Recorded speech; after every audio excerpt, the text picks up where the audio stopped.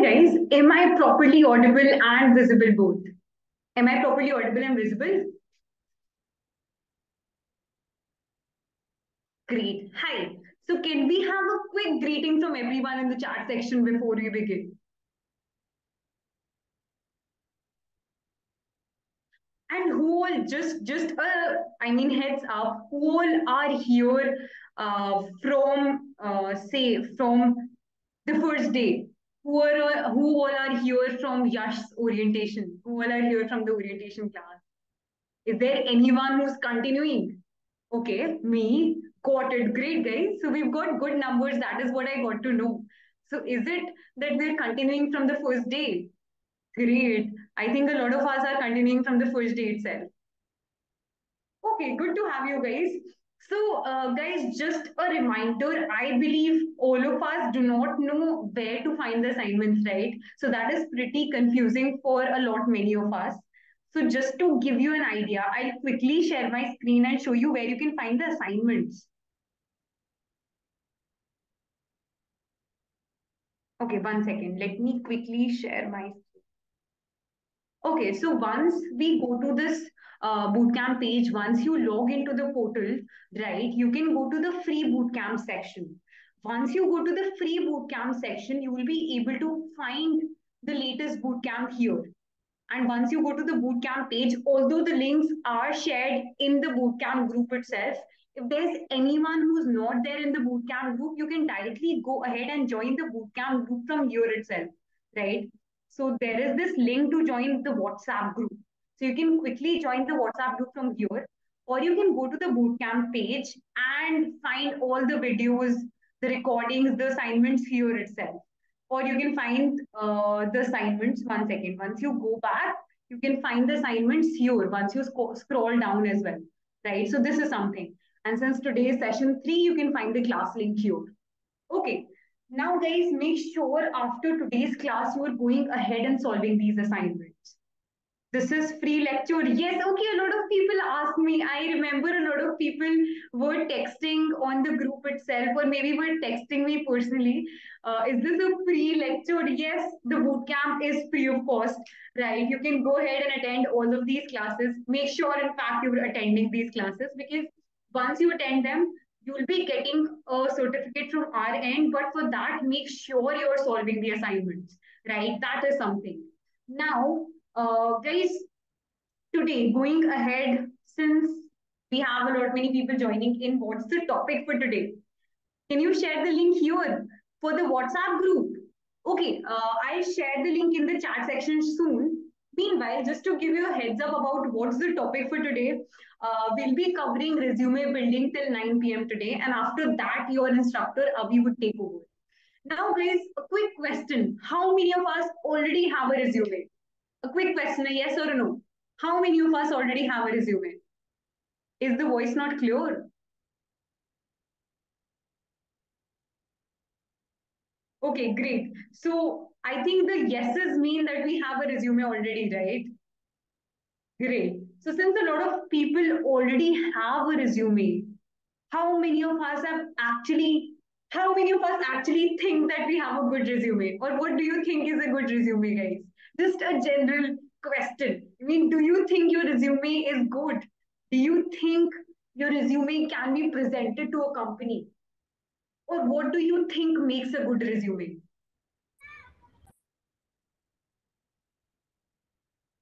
It's okay, okay, I think. Okay, we, we've uh, got very honest answers in the chat section. okay, so guys, there is a guest joining us today. And here's Ria. Uh, she is an SDE at Google and she's been working for a long, long time now. So she knows uh, she has a very fair idea about what these resumes are to have, right? In fact, she has her own resume, which is pretty much good to go. So, what all it takes to get into a great company with a good resume, something Ria would be covering today. And you can share with her your resume in the chat section. She can probably give you good insights on your resume itself, right? So, once you have this session, feel free to share your resumes in the chat section as well. And maybe you can get a feedback for your own resume. Ria, on that note, you can take over and probably we can have you interacting with the class now. Yeah, sure. So thank you so much. Uh, hi guys, so I'm Ria and I'm currently working at Google and today I'll be taking this um, resume building session. So, and I'm very, very excited to interact with all of you, but just let's make one thing very clear. Uh, do not hesitate whenever you have any sort of doubt. Just stop me or write it in the chat box. Just feel free and do not hesitate. Any any sort of a doubt, please do write it in the chat box. So yeah let me just share my screen um, just a moment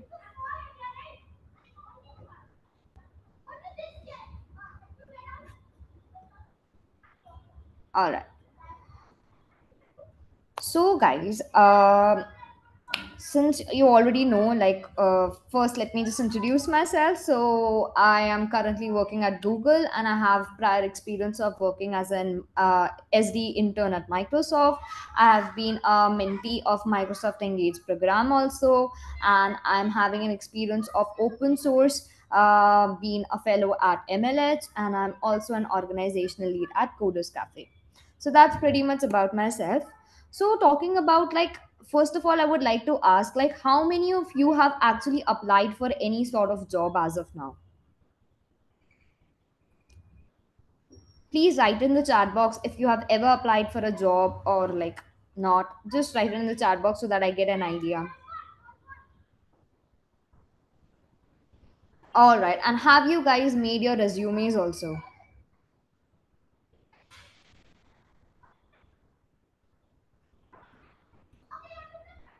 all right all right. So we have mixed answers in the chat box. That's great. All right. So, do you guys know what's the basic significance of resume? So, whenever you are actually applying for any company, each and every company, although they have a different procedure of their own, the recruitment procedure is very different, or like it depends on company to company. But one thing is common in each and every company that is resume.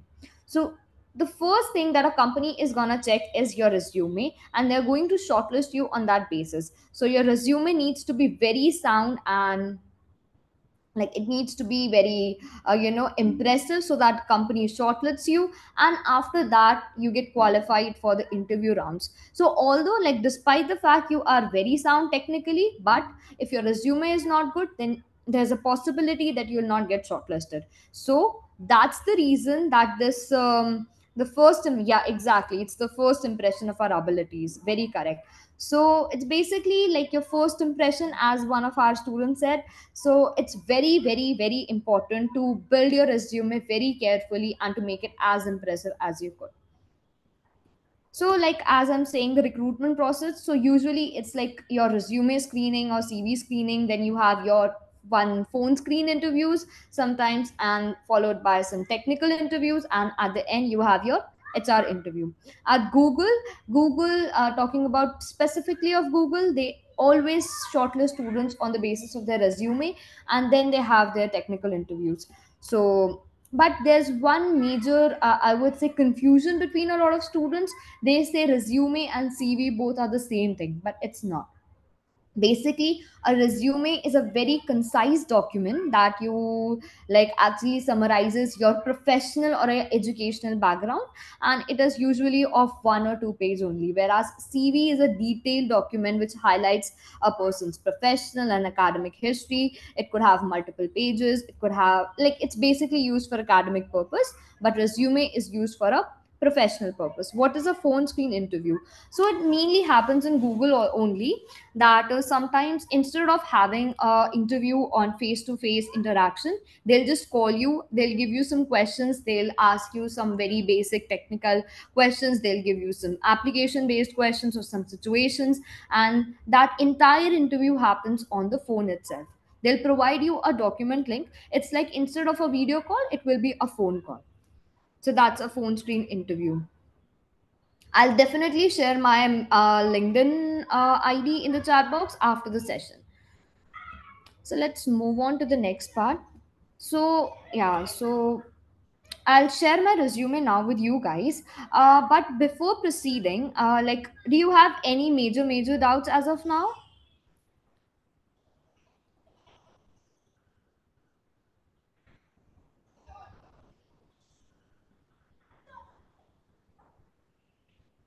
All right all right. Okay.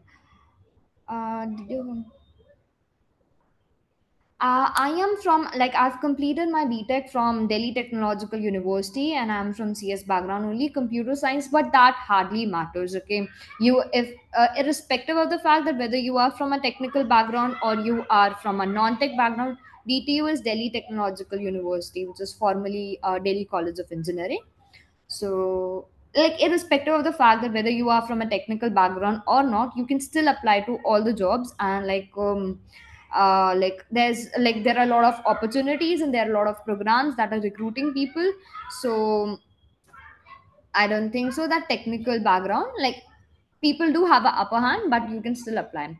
So this is my resume that i made in my college.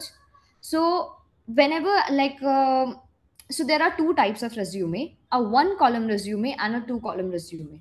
So when you feel like that you don't have uh, uh, much to write in your resume i always suggest people to go for a one column resume. If you feel like you have enough content then go for a two column resume. And it makes no difference honestly. Like uh, people think that okay uh, i should make a two column resume that will make it more impressive. That's not the thing. If you have a lot of content then write it but don't add fake content into it so that's the first thing uh, that you need to uh, like um, keep in mind. And secondly your resume should be strictly of one page. I always suggest everyone that the resume should not be more than one page because uh, res- uh, usually the hrs who are actually shortlisting your resumes or maybe the ats machines they don't give much time to each resume. So it should not be more than one page. And it is strictly advisable to keep it short and concise. So that's the very first rule that we are learning today that whenever you are building your resume it should be short crisp and concise. Uh, nowadays ats friendly resumes are how can we crack this? We will come at this later on like that's the later part of our discussion. So I, i'll surely um uh, like uh, answer it and we have to prepare both cv and resume. No you don't have to prepare both cv and resume. You have to prepare resume only. When you are applying for a job you are supposed to uh, prepare a resume. But when maybe you were applying applying for let's say some college or maybe uh, some higher studies at that point of time you make a cv and uh, all right. So see uh, now the very first thing that comes in your resume is your name like here you could see i've mentioned my name your phone number, your contact number, your roll number, and uh, your email ID, LinkedIn, GitHub, website, if you have made any portfolio website. So the upper section basically involves your personal details. So you're supposed to add your, if you are a college student, add your roll number. If you're not a college student, just remove it. Just mention your uh, uh, address maybe or address as in like which city you are residing in and uh, mention your email id but it should be like uh, i prefer a left indentation for the personal stuff like phone numbers and address. And for the email ids and other links like linkedin github website people also mention their CodeChef like there are some coding platforms that we will be discussing. So there are certain platforms like CodeChef lead code Codeforces. If you feel like you have a very sound rating at these platforms you can mention these links also is at this section. And some people do make their portfolio websites also. So this is the section meant for mentioning the portfolio website. I okay so then um, we'll go step by step. I'll just open a whiteboard also. Just give me a minute. So uh, there are multiple sections uh, in our resume. Uh, the first uh, first resume first very first section of your resume is your work experience so when i talk about work experience it's the most crucial and i would say most important part of your resume because whenever an hr is actually reviewing your resume that, that's the very first section they are going to have a look on. But if you are going for a one column resume then you're supposed to mention your education on the very top. So let me just show you a single column resume as well. Just give me a second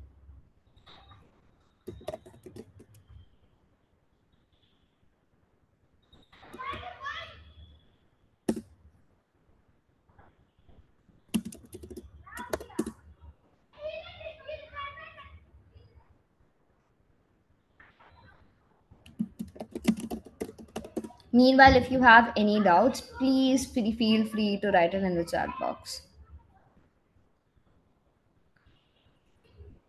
All right. So let me just start with the experience part as of now. So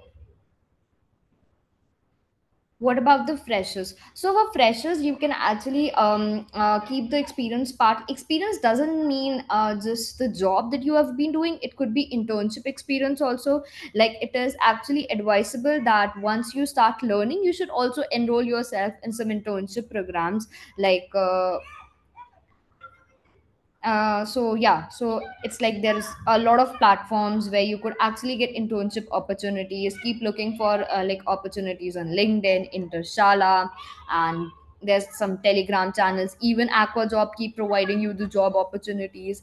So apart from the job opportunities i'm uh, talking about the internship opportunities that you should actually know. uh, ngo will not be included in it because um, uh, as you're applying for a technical interview so your resume should consist of only technical tech related um, content. So just uh, refrain yourself from adding any extracurricular activities or maybe like all such kind of a things.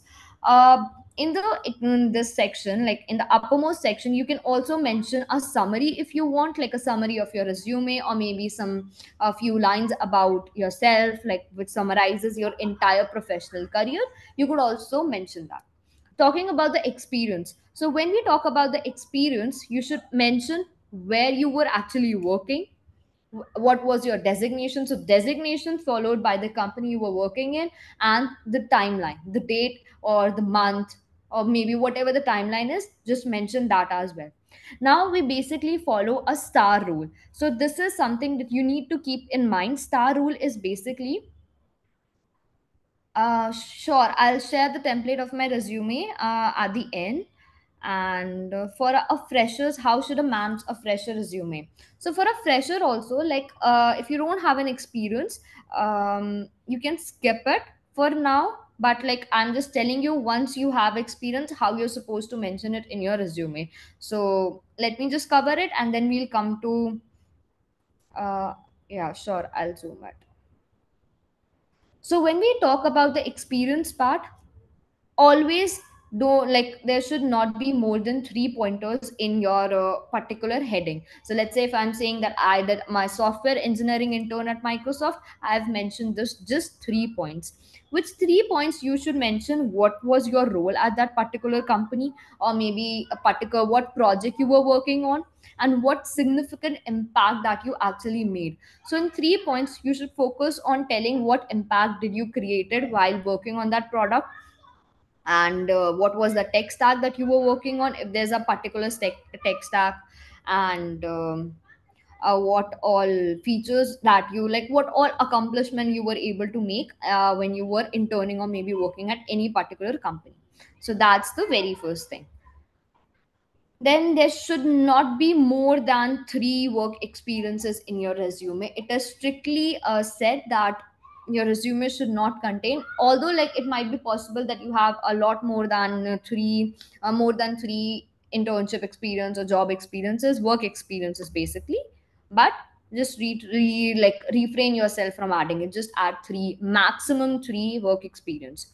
So then comes the education part. Okay.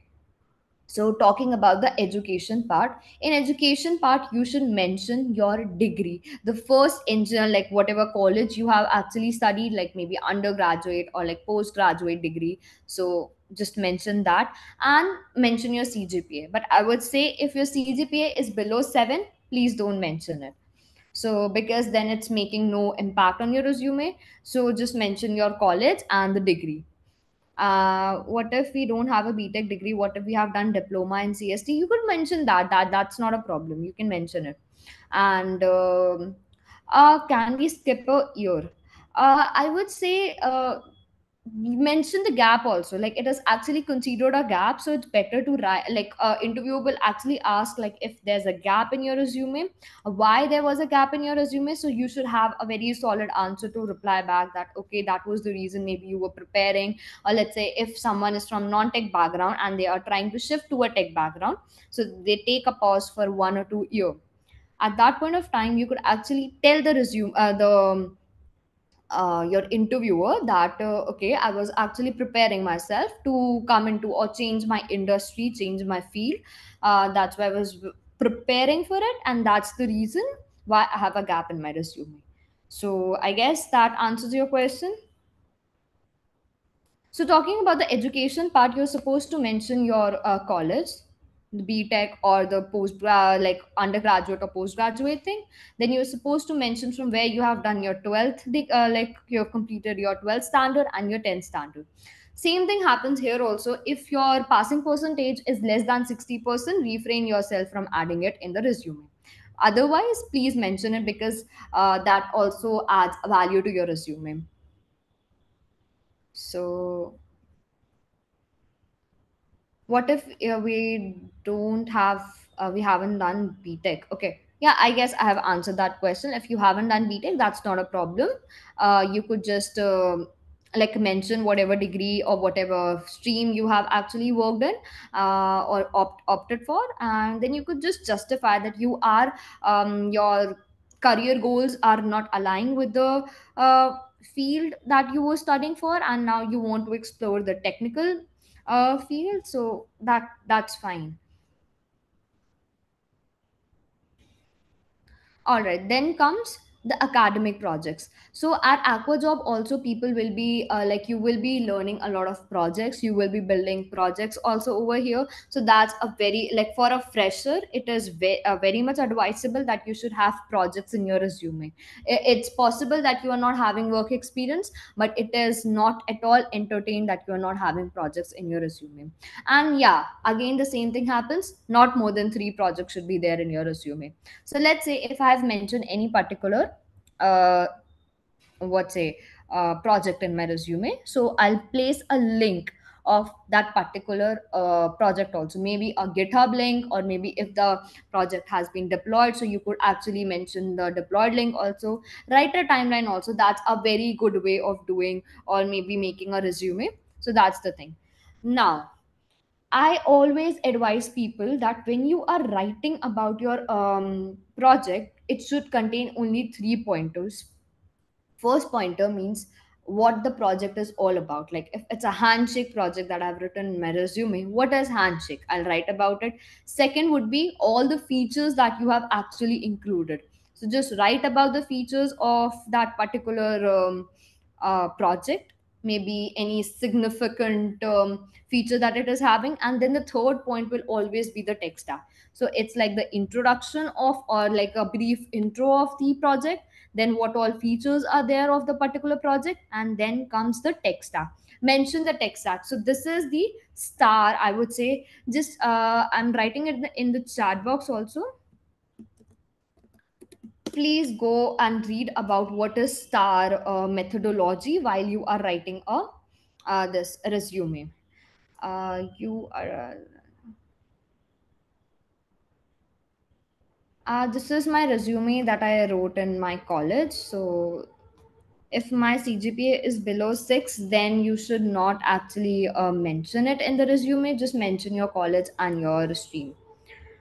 And can a research paper be included in project? Definitely, and that comes under the work experience only. So do mention your research paper.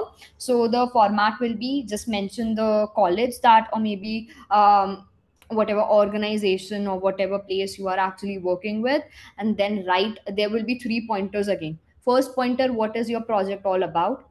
Second pointer, what all features you are actually what novelty is there in your research paper? Maybe any new idea or maybe any new feature maybe some significant impact let's say if you are making a, a very simple uh, thing that i'll take is let's say if you are making a emotion detection program okay? Like um uh, when you are writing in a chat box like people are writing a lot of uh, things in a chat box and there are certain programs that could actually detect that whether it's a hate comment or whether it's a happy comment. So we do have programs for it. So let's say i'm making a emotion detection program in my uh, as a part of my research project.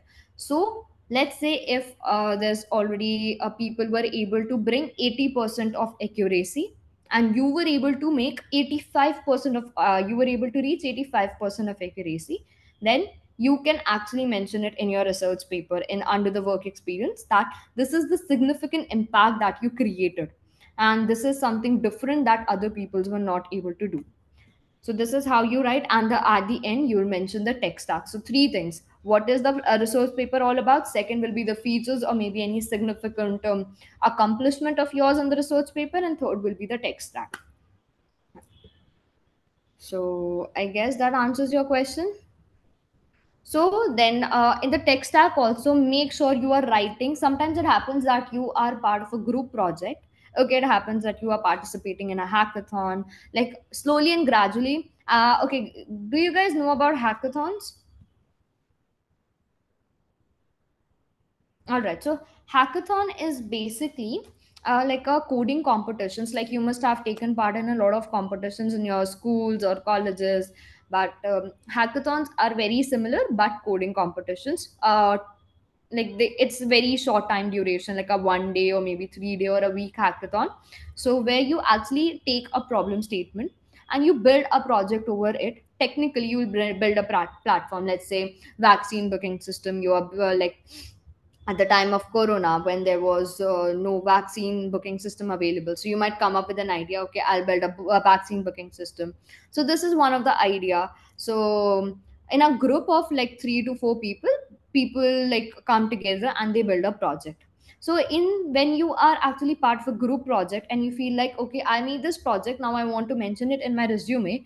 So the way of writing it in your resume is mention only your part. Like what was your role in that particular project? Let's say you were handling the front end of the project and um, if you have uh, or maybe the back end of the project or maybe you were handling the database. Like when you are building a project there are three parts of it front end back end and the your database thing. So just mention what part you were involved in what tech stack you were working on and what was your contribution to the project. So whenever you mention any project of a hackathon this should be your um, uh, strategy of writing it in your resume.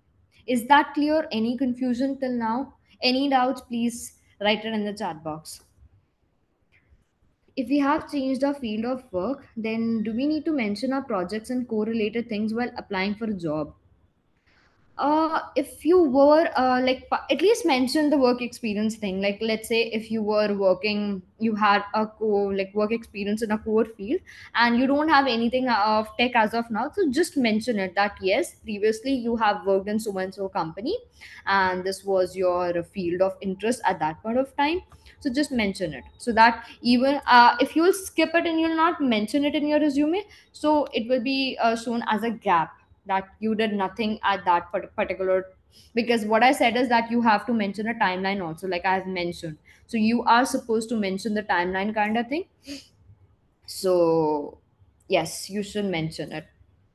And talking about the projects uh, you can if you don't have any technical uh, project but please do go ahead and go for like uh, adding technical projects in your resume. Because um, when you are applying for a tech job obviously recruiter is going to see how much you are aligned with their interests and uh, how sound you are technically. Let's say there are two candidates who are applying for a particular job and if let's say uh, you are adding core uh, just core uh, projects and one is adding tech projects. So obviously the biasness will go to the person who is having a technically sound projects. So that's why it is advised to add technical oriented projects how many projects are needed to mention in a resume? You can add two to three projects not more than that.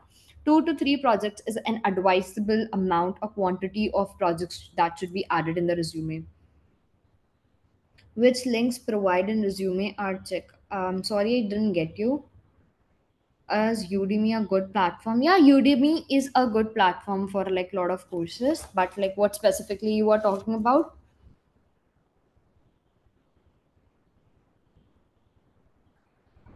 any other doubt guys or can i proceed?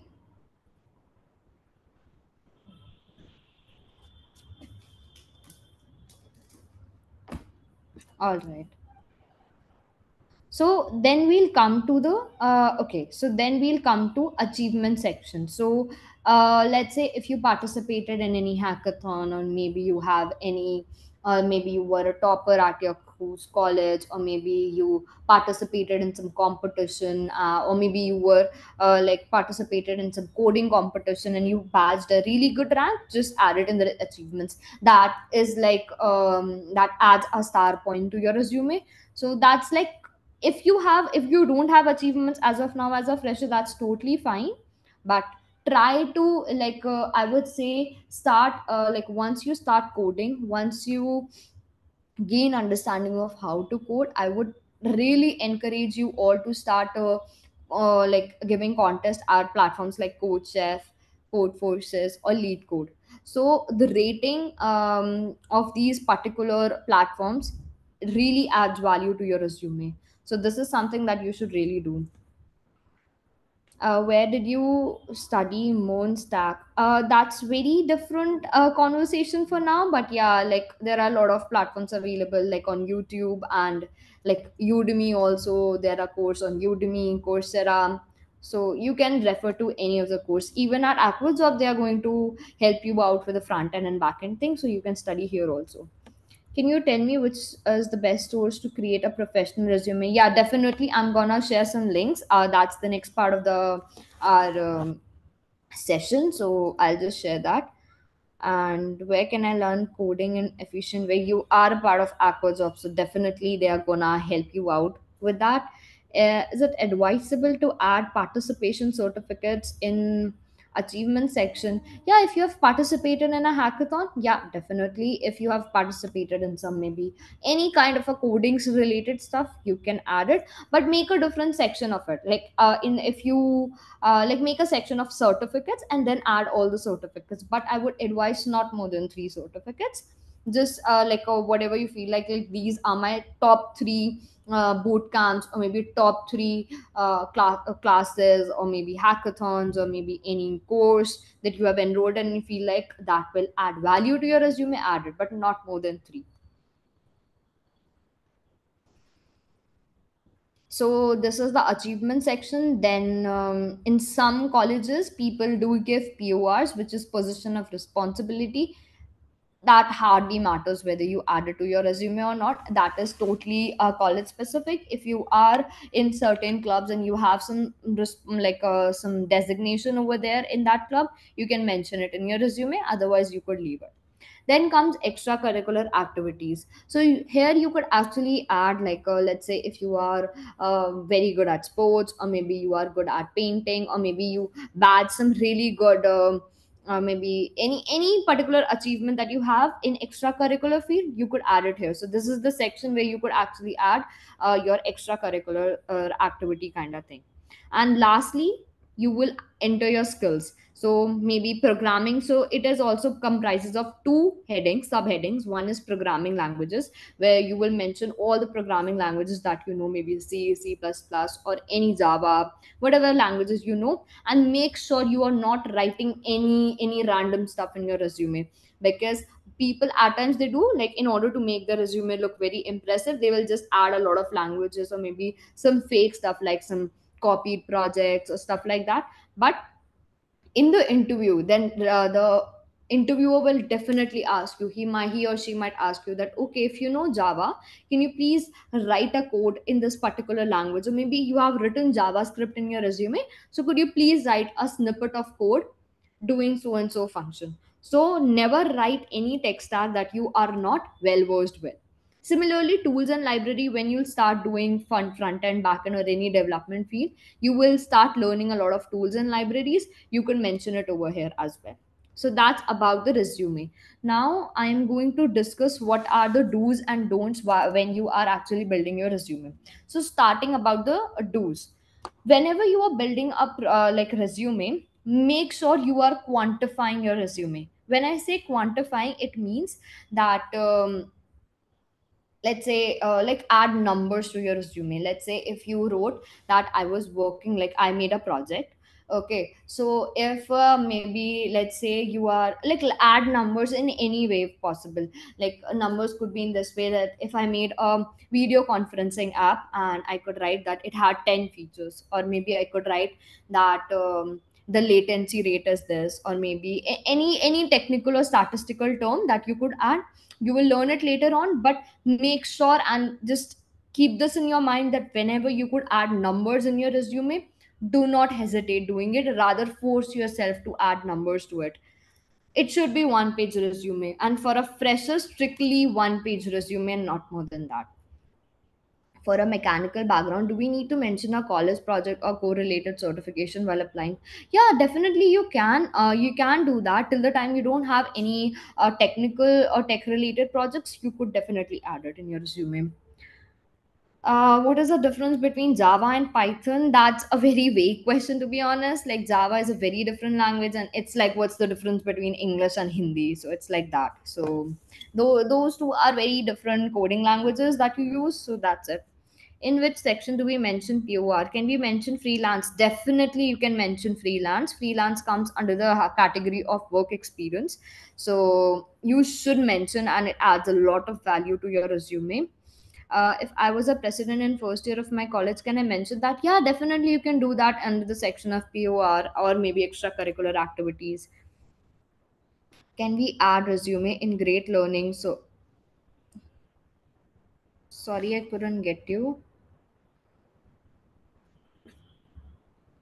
Yeah, so we were talking about the do's. So first one is quantify your resume. Is this point clear to all of you? That you should quantify your resume because I, I'll be talking about what is ATS, and um, then you'll just get to know that um, what I actually meant by quantifying your resume then comes uh, like spacing okay so indentation spacing and how clean your resume is at times people make a very cluttered resume like they have a lot of content in their resume but it doesn't seems very nice or soothing. Like when you look at the resume it should look clean okay? So and there should be spacing. Like let's say uh, the difference between software engineering and this worked on fixing l3 the difference between the gap that i have placed between these two should be constant when i'm adding another section like ml's fall and open source line teaching assistant and mentor. So this consistency should be there when you talk about the spacing.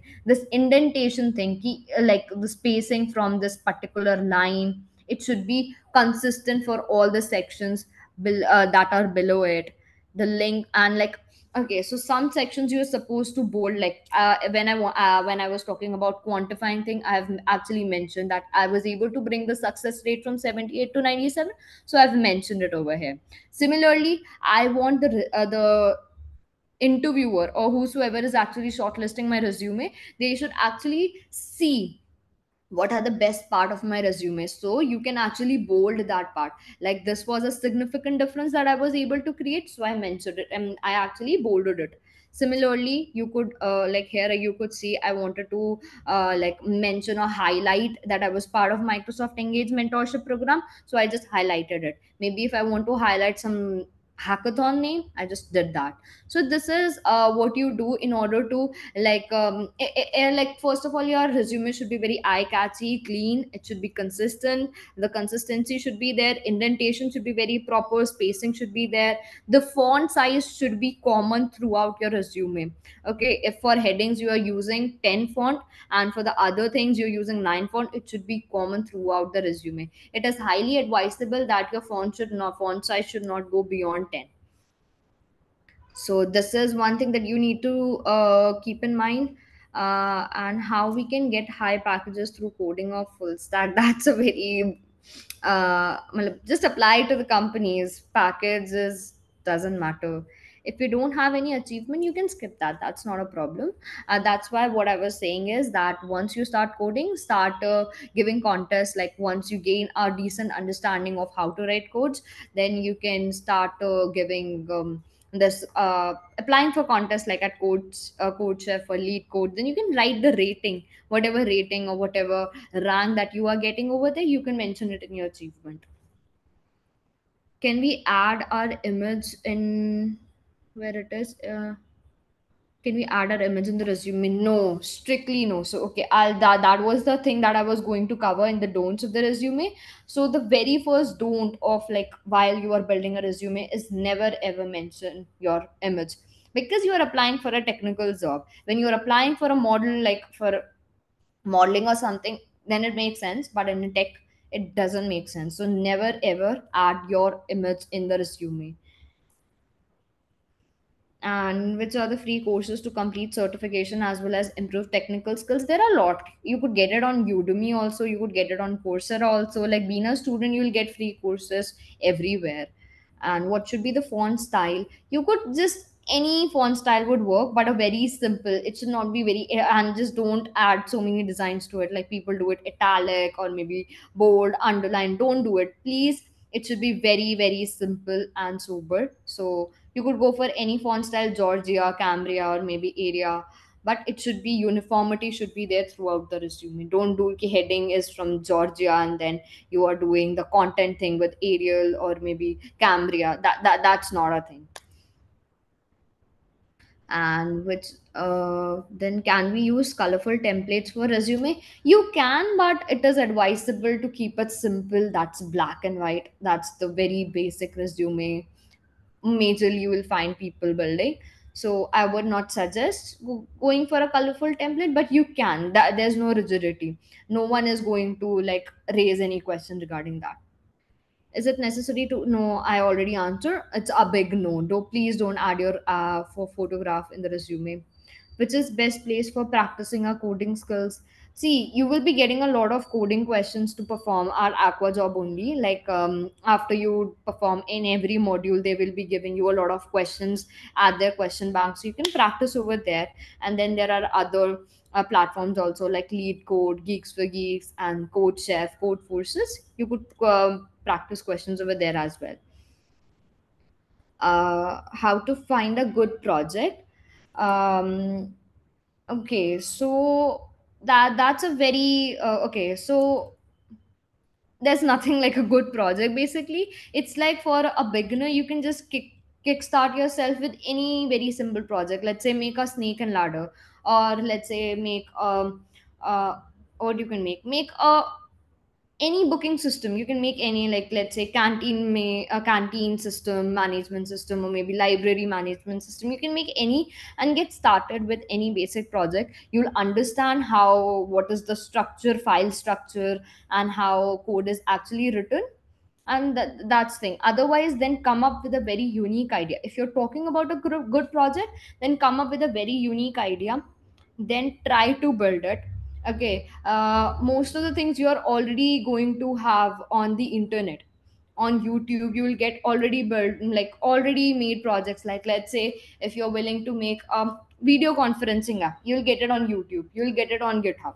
But how uniquely you are integrating it that's up to you. That's what makes the project good. Uh, so like maybe unique features that you are adding to it that will make your project like to stand out from others. Currently you are in india or usa i'm in india. What should we name the file? Which file you are talking about? Can we add hindi essay competition certificate in the resume? Uh, no i would not suggest that to do. Uh, you can add it in the um, co-curricular activities if you have like really good rank in essay writing competition otherwise no. And how to improve communication skills practice a lot in front of the mirror i would say. Like st- start giving mock interviews once you are done with the coding part. Start uh, like just open a google meet and just talk to yourself or maybe when you are coding. Uh, yeah that's a very good practice for like improving communication and your interview skills. When you whenever you are coding keep talking to yourself that okay now i'm making a method. This method will make a call to particular parameters or maybe uh, this function is doing that. So keep talking to yourself. This way you will improve your communication skills also ma'am i don't know which software tools i should use for building a cv okay so let's move to what software you should actually use.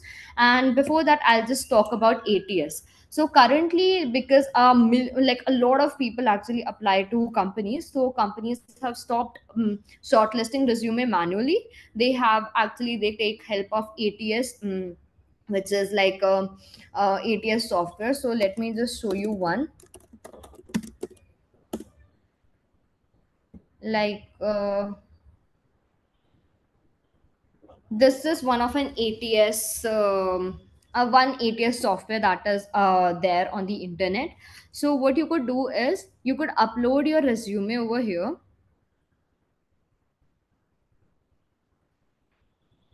Okay so you can upload your resume over here any resume okay uh, just choose the entry level mid level senior. So for uh, initially it's entry level.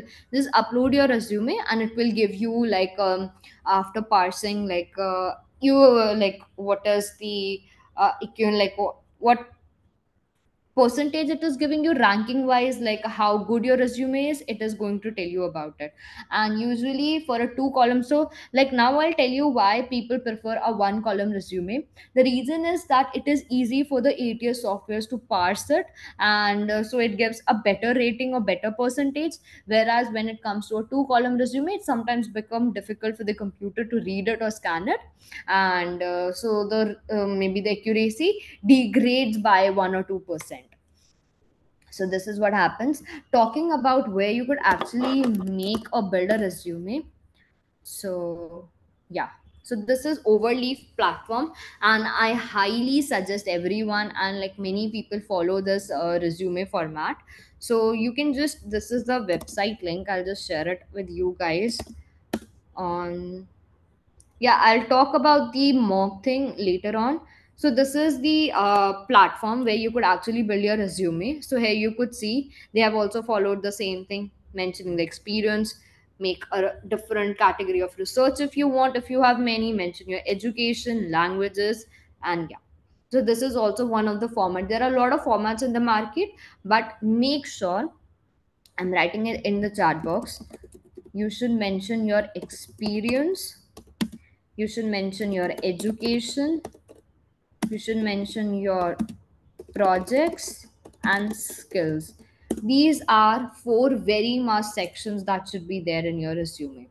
So this is one thing that you could do. And then just open the template log in with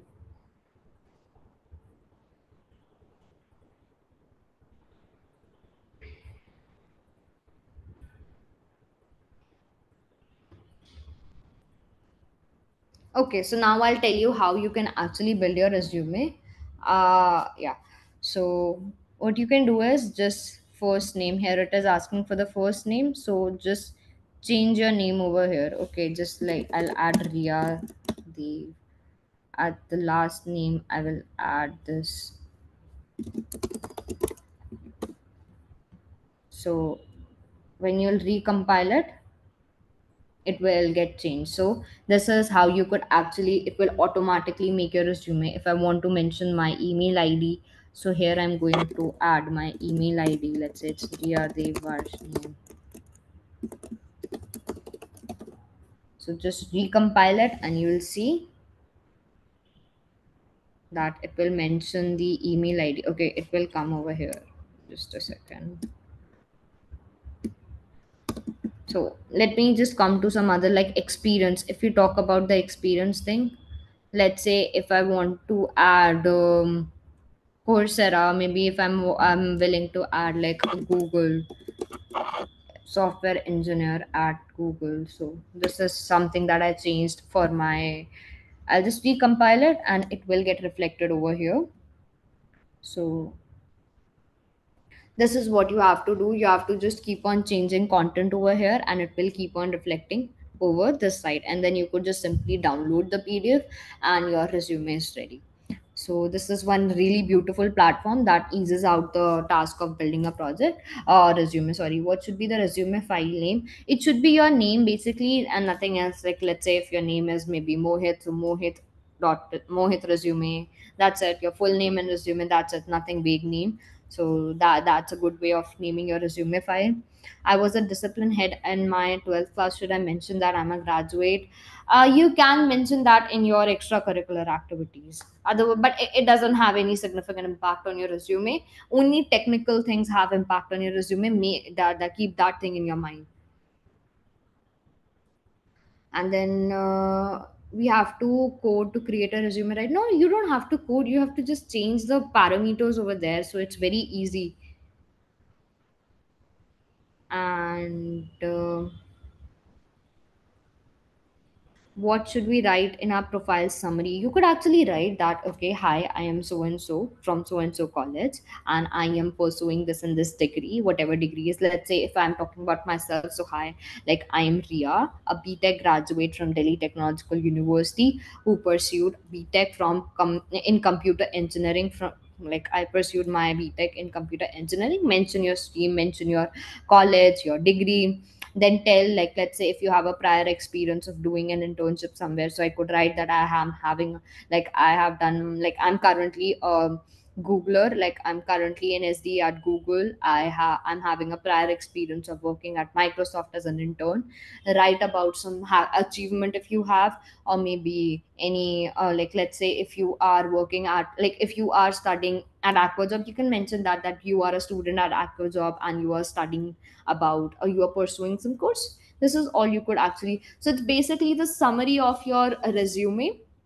Mention the best points in that the best out of your resume should be mentioned in your res- uh, summary part. Can we use canva templates for building resume? You can use canva templates but i don't like like them much and it's not advisable also so but it's up to you. If you feel like that you are able to make a clean not so cluttered resume having a lot of consistency then yeah definitely you can. Can't we use a template which is provided over there uh, over where? The overleaf one my screen is not showing. Is it so? Like is everyone facing that problem?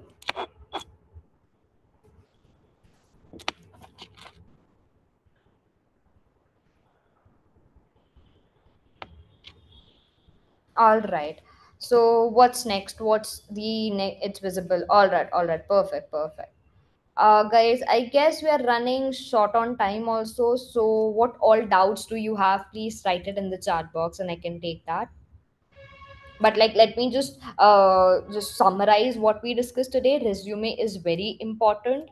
It should have your experience. It should have skills projects and your uh, work experience in that and your education details also. Then you should try to m- make it very clean short crisp and concise. It should not exceed more than one page.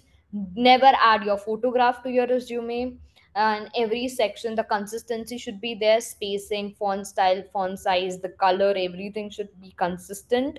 Then um, never uh, like uh, the summary should also be short and crisp. Add try to quantify your content. Add more numbers and stats to it. That will like when ats is scanning your resume it will actually add a lot of points to your resume. So actually the ats software scans for the numbers and whenever it get numbers it increases your points or ranking. So that's one thing. And um, what else? Yeah that, that that's pretty much. And where to give mock? Okay so you can give mock interviews like your mock interviews will be taken a lot of mock interviews will be taken at AccioJob i guess. Uh, you will like you will be told like there are certain modules at AccioJob. After every module you are supposed to give an interview and the, uh, when you pass that interview you will move to the next module. So this is what happens. So here you are gonna get a lot of opportunities. Still if you want to go for other uh, mock interviews platform you can go for interview but i'll write it in the chat box. InterviewBit or maybe you can go for Pramp. These are two very good platforms where you could actually go for mock interviews. I have shared the resume template. This is a one column resume template that I highly advise people to go for. I have certificates like Java, C++ plus from Great Learning. Can we add? Yeah, yeah, you can add that. What is the shortcut method to become successful coder in short time? There's no shortcut method to that. I'm so sorry. Uh, ma'am, can I choose any good template, whichever I want from Overleaf? Yeah, you can for sure. What I actually uh, like wanted to convey you guys is that till the time you are maintaining the like it's consistent, it's crisp, it is not cluttered, it's clean, it's readable. Certain all these things that we discussed in today's uh, session, if you are able to follow that, then just go for any format. And just make sure you are mentioning all the components that we discussed that should be there in your resume. Where to upload our resumes could you please let me i guess shikha can help you out with that like where to uh like upload our uh, upload the resumes. And yeah i'll share my linkedin profile with you guys just a second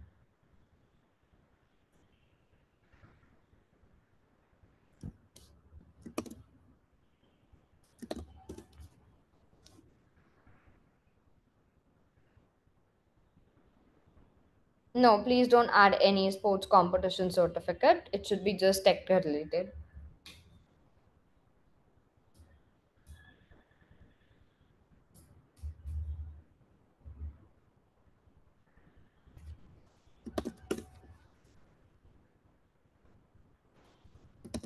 InterviewBit and this is the InterviewBit and Pramp is basically the platforms for mock interview. And uh, okay, I guess it was not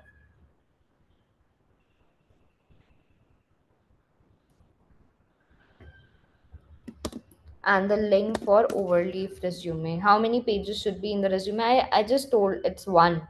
Uh, which template is good? The one that I shared in the chat box, I prefer that. So you can just go for it. What else? What all doubts you have? Like, please write in the chat box, else we'll just sum up, uh, like summarize it, and like we'll just wrap it up.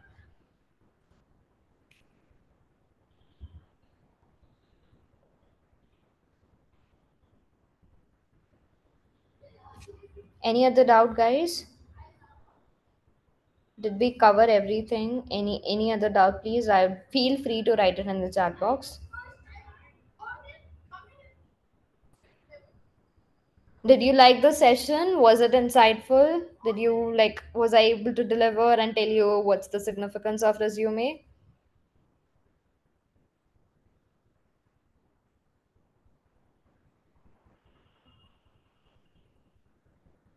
I'll just wait for one more minute. Uh, meanwhile, if anyone have any doubt, please write it in the chat box. Feel free. Otherwise, I'll just hand over the session to.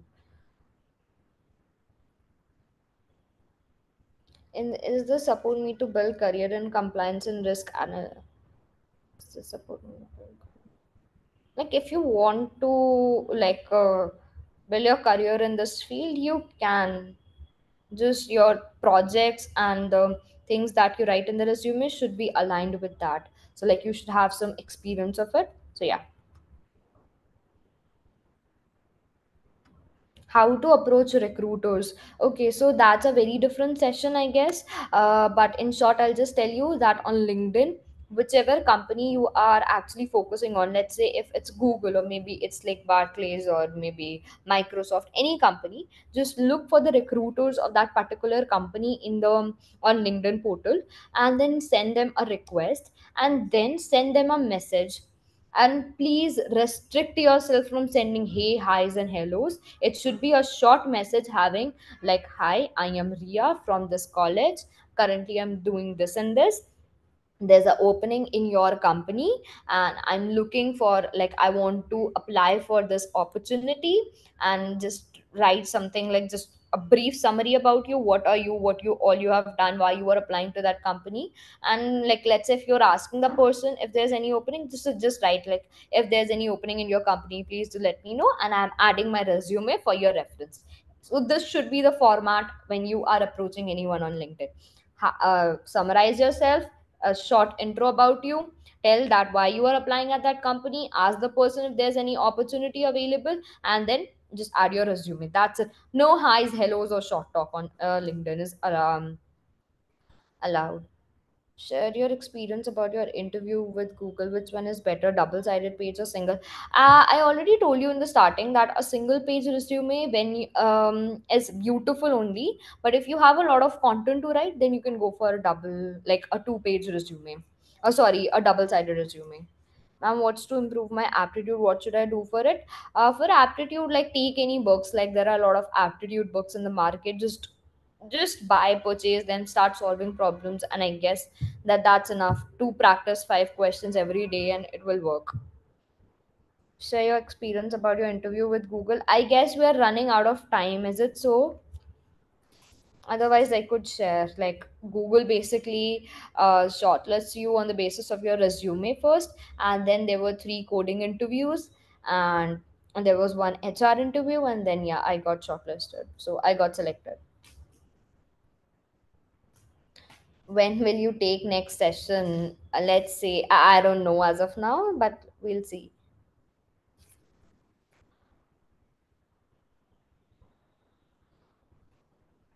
all right just give me a minute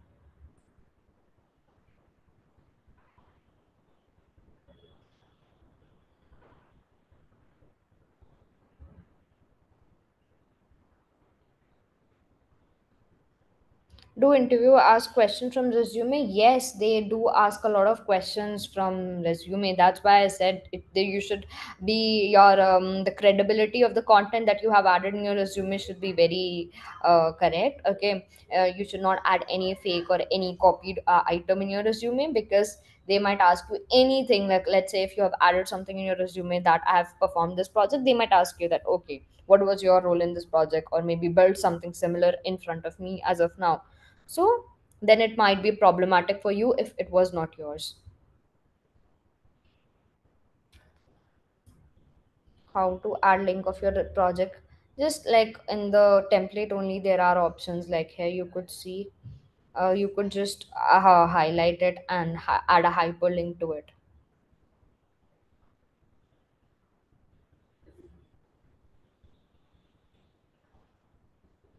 non-IT background is it possible to get yeah it is definitely possible to get into Google being a non-IT person.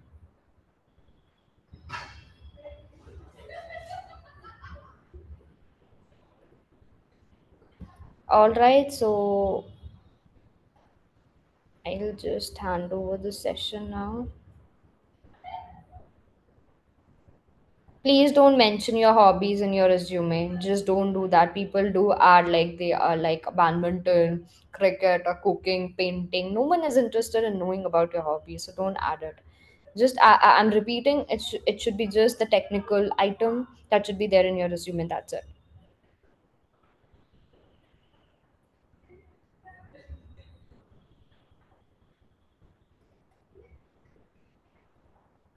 all right i guess we can end the avi are you there Yeah.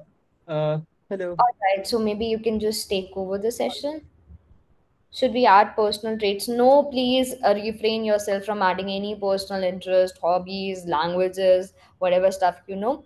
Anything that is related to tech, feel free to add it in your resume, otherwise, don't. That's a very simple funda of building a resume. If it is related to tech, add it. If not, remove it.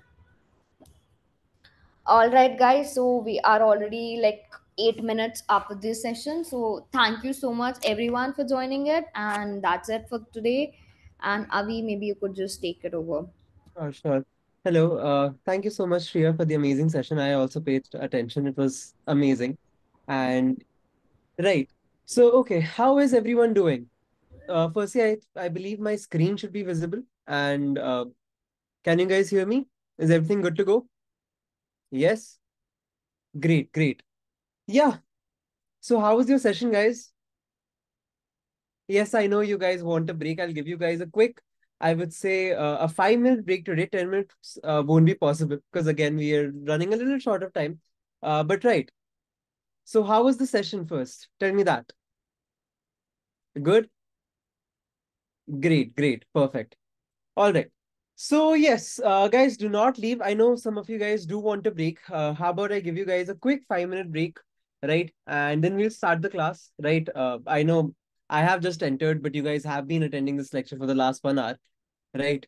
So I think today five minutes would be nice, right? Because again, we are running a little short on time. So don't worry. Uh, I'll give you guys a quick five minute break. Please do not leave anyone. And then we'll get started with CSS, which is the styling part of making websites. So yesterday we learned how to create the structure of the website. Today we're going to talk about the beautification of it, right? So again, quick, I'm giving you guys a quick five minute break. By 9.15, all of you guys should be here do not leave the class and just stay here go drink water have food right take a little break and yes uh, be back in five minutes all right see you in five minutes guys please do not leave the class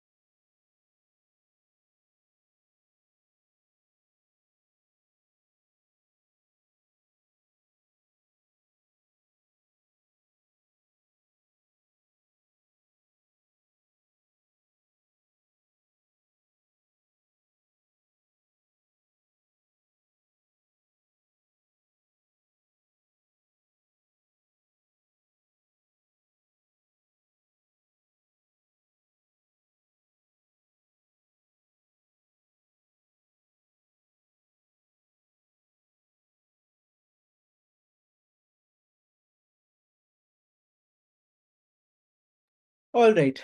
Hello, everyone. And uh, please leave a plus one when you guys are back. All right. So we have a few students here with us. So we have, yes, hello, hello, everyone. And again, how was everyone Saturday? Okay, so I see a lot of plus ones. Good, good. So guys, let's just quickly get started with the class now. We just have 45 minutes and there is a lot that we have to cover. All right. So today's uh if if so first tell me how many of you, you how many of you guys are attending today's lecture for the very first time? Okay, so we have one new student with us. Uh anyone else or just one, two, three, four, five. Okay. So we have around five, six students with us who are new, right? Amazing. All right. So, uh, students who are new, hi, I'm Avi Vashisht. I'll be your instructor for the next uh, two more days now. So, this was a personal portfolio bootcamp or a front-end bootcamp, obviously by AccioJob, right? And if you go to the free bootcamp session, that is where you will see uh, my face, right? So we started our classes on the 28th. We did on the 28th, 29th. Today is the 30th, and then tomorrow will be the first, right? So these classes are going to go till first. In fact, we will have one extra session on the second as well. So we will have lectures from the 28th till the second, right? And the first lecture was just a quick introduction to internet. How does the internet work and everything?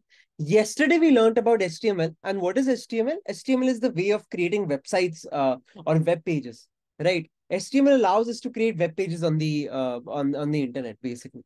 And today we're going to learn how to design that. So an example of, uh, okay.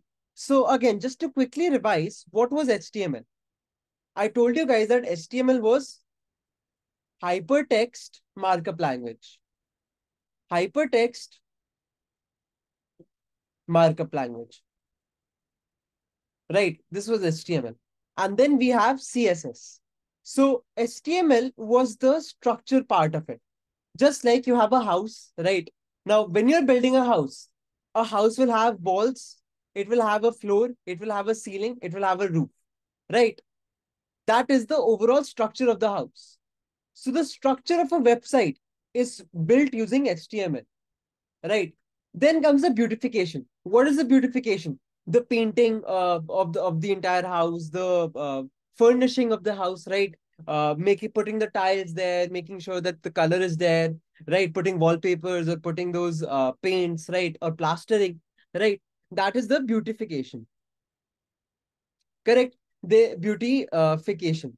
So th there is building a structure, building the walls, building the ceiling, building the roof, right? Building the floor, right? That is the building the structure part. And then after you're done with the structure, there's a beautification, right? That is painting the walls, uh, putting down the flooring tiles, right? Uh, uh, making sure that you have false ceiling, making sure your lights are working, everything else, right? So just like that, your structured part is handled by HTML, and then we have CSS.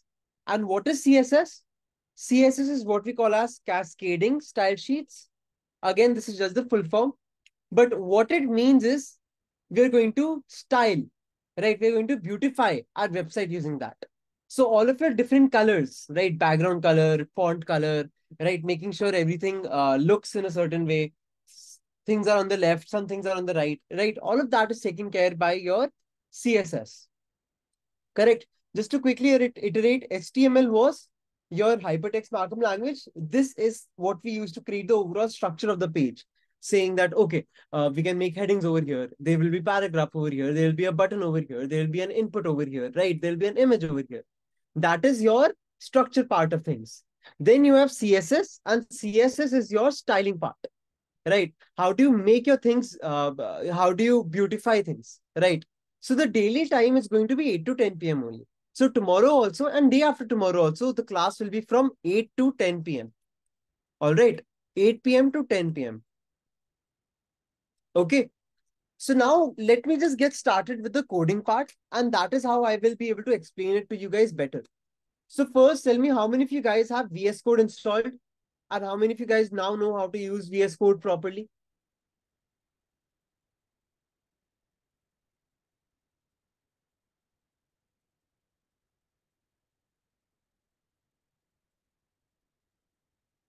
You do? Great, great. Uh, no. So, okay, we'll be using VS Code. So, guys, all the students, all right. So, all the students who are facing a little problem, I would say just watch yesterday's recording, right? So, go to again, go to precourse.acciojob.com and click on this free bootcamps. When you click on this free bootcamps, you scroll down. Over here, you will see the recordings. So, the lectures have been recorded. So, you don't have to go through any pain. You just have to watch this recording, right? Click on watch recording. Over here you'll see uh we can, you can click this play button and then the recording will start playing. All right. And over here you'll see that i took yesterday's lecture. Correct guys? Okay. And over there uh, i explained that you will be needing a live extension. If you don't have the live extension guys i told you the other way of loading your html files. So what was the other way? Uh, guys what was the other way? Just go to your folder and in your folder just click on open with and Google Chrome and just open it with Google Chrome. Right? This was the second way of opening a website. So both ways will be working. All right. Okay. Now talking about the coding part. All right. Now, like I explained yesterday, that what is HTML used for? HTML is used to build your overall structure, right? Let's say that I have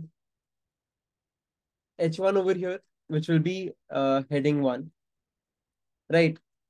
Then after heading 1, uh, let me go live first so that I don't have to refresh again and again. This is my website now. I'll have heading 1. Then over here, I'll have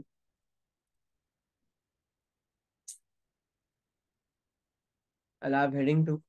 Right. Similarly, heading 3 and heading 4. Right? So this is what I have. Heading 1, heading 2, heading 3, heading 4, right? Then I can even have my button, right? And let's call this button as uh, something like click me, right? Okay. Now look at this. This is plain black and white, right? What if I want to change this? What if I want to make it red and yellow? Uh, that is fine. That is fine. Uh, don't worry about that. See, guys, as long as you're seeing the output, that is fine. Right now, again, in this bootcamp, I wouldn't have the uh, time to really go through each and everyone's errors. So I'm really, really sorry about that. Uh, but yeah, please try to, uh, you know, maybe just run it using, if not, if your uh, local host port is not wor working, like your go live is not working, then I would say that please try to, uh, yeah, try to run it using the other way. All right, as long as it is working. Yes, now talking about the CSS part. So guys, the issue with this is that sometimes in websites, the websites are not always going to be white and black, right? Sometimes the websites are going to have different, different colors. What if I want this to be red and black or yellow and orange or red and orange? So how do I make that happen?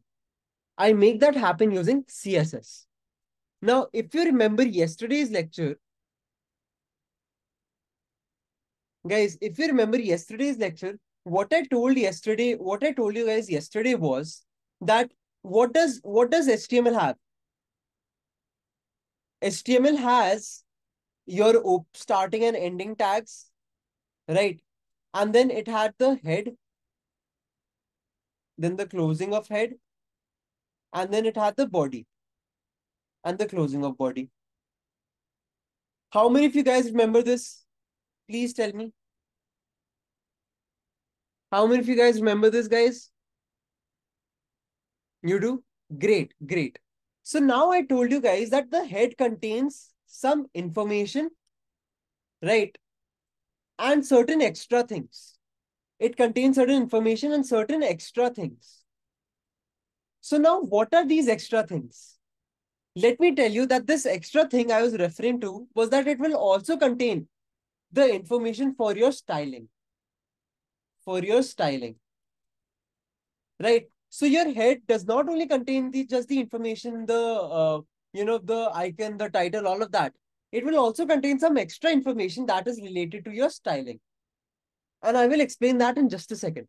So basically what ends up happening is,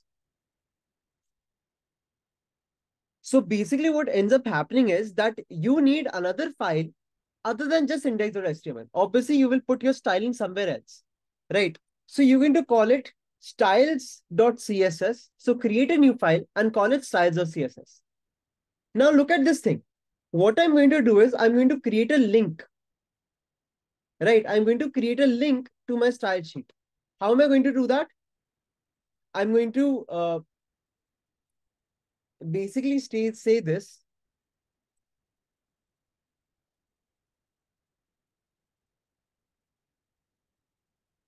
Okay. So I'm going to say link and then rel style sheet and then href. So basically this is a very standard way and this is how you link an HTML to your CSS, right? If I Google link HTML to CSS, this is what I see, right? You'll have to use the link tag and you'll have to say rel. Now, what does the rel stand for? Does anyone know what does the rel stand for? It stands for relationship. Okay. So basically it says that, okay, we are linking a file, which is this file, styles.css is the file, right? Obviously we created styles.css. .css stands for cascading style sheets. So basically we're linking our HTML to our styles, right? And over here, I'm saying that the linking is basically relation, the relation between this file and that file is that that file is the style sheet. It is where my styling is. Right. So basically what I do is I link a style sheet and I'm the linked file is this one. So at the end of the day, whatever styling I will put over here, right? Whatever styling I will put over here, I will see it getting linked to this HTML. And I'll make you guys understand this funda also in just a second. Right? So basically it is like, okay, understand this. Understand this let us go to, uh, let us go to, let's say, let us go to facebook.com. Right, let's go to facebook.com. Now, when we go to facebook.com, there's some theme, blue, gray, blue, gray, white, then green, right? The theme would be mostly Facebook's theme is blue and white. Correct? Everyone agrees that Facebook's theme is blue and white. Yes, yes, I'll cover the linking part. First, okay, understand this theory. Facebook's theme is blue and white if I go to Twitter, right? Twitter is now uh, X apparently, but what is the theme of uh, this thing? It's black and white and blue, right? Exactly, black and white would I would say most theme the uh yeah the biggest theme would be black and white, right? Okay. Uh, let's say I go to some other websites like uh, let's say I go to Snapchat, right? If you guys have used Snapchat, Snapchat is what yellow and white. Right? Snapchat is yellow and white. Correct? Exactly. So what you end up realizing is, guys, tell me this. Obviously, you have you have Snapchat's website, right? You have Snapchat's website and you have Snapchat styling. You have Snapchat's styling, style sheet. Obviously, these two are linked together because let's say you have Facebook's website and you have Facebook style sheet. Right. And Facebook style sheet is linked to Facebook's HTML. It's not like Facebook will randomly or Snapchat will randomly start picking up styles from Facebook style sheet or Facebook's website will randomly pick styles from Snapchat, right? Has that ever happened? No, right? Why? Why is that? Because the Snapchat's HTML file will always pick the styles from Snapchat's .css file. Similarly, Facebook's HTML file will always take styling from your Facebook's style uh, sheet, right? Facebook.css. So just like that, it is a very simple logic. Basically, we are saying that, okay, since we are coding, our index will be linked to our style sheet only. So this is our index file and this will be a styles file. And my styles file is linked to my index you via this line. So that is why linking is important. Right. So linking is important so that you can link your style sheet with your website. Right. And that's it. So again, this is a, a required mandatory thing to do whenever you are creating websites. So this is part of the setup. So next time, whenever you're setting up the website, right, you will set up the HTML head, you'll have the title and you'll have this. You will definitely 10, 100% have this. Why? Because you will be linking your styles file also. Is this clear to everyone? Please tell me if this is clear to everyone.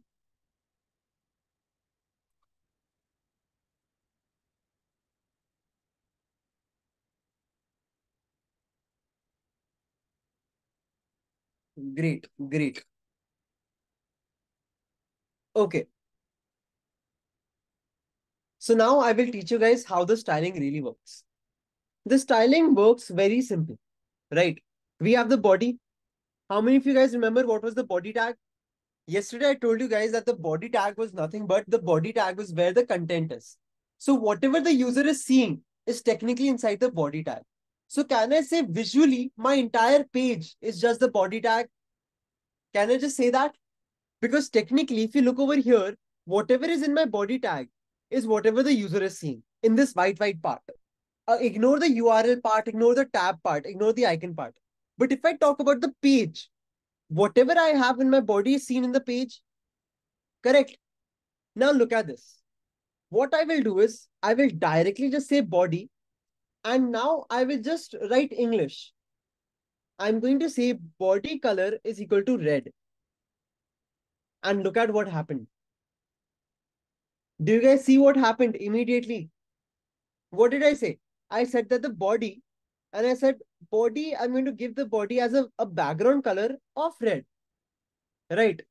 Now I can say I'm going to give it, uh, let's say, what else, what other thing can I say? Let's say I can give it a color. I'll tell you what is the color. So the moment I write white over here, you will understand what is color. So guys, what is color and what is background color?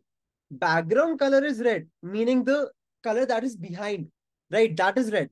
But the color, the normal color, what is the normal color? The normal color is actually what we call as your font color, right? So CSS does not have anything known as font color, it just has normal color right? Is, is this clear to everyone? What does it look like? It looks pretty cool, right?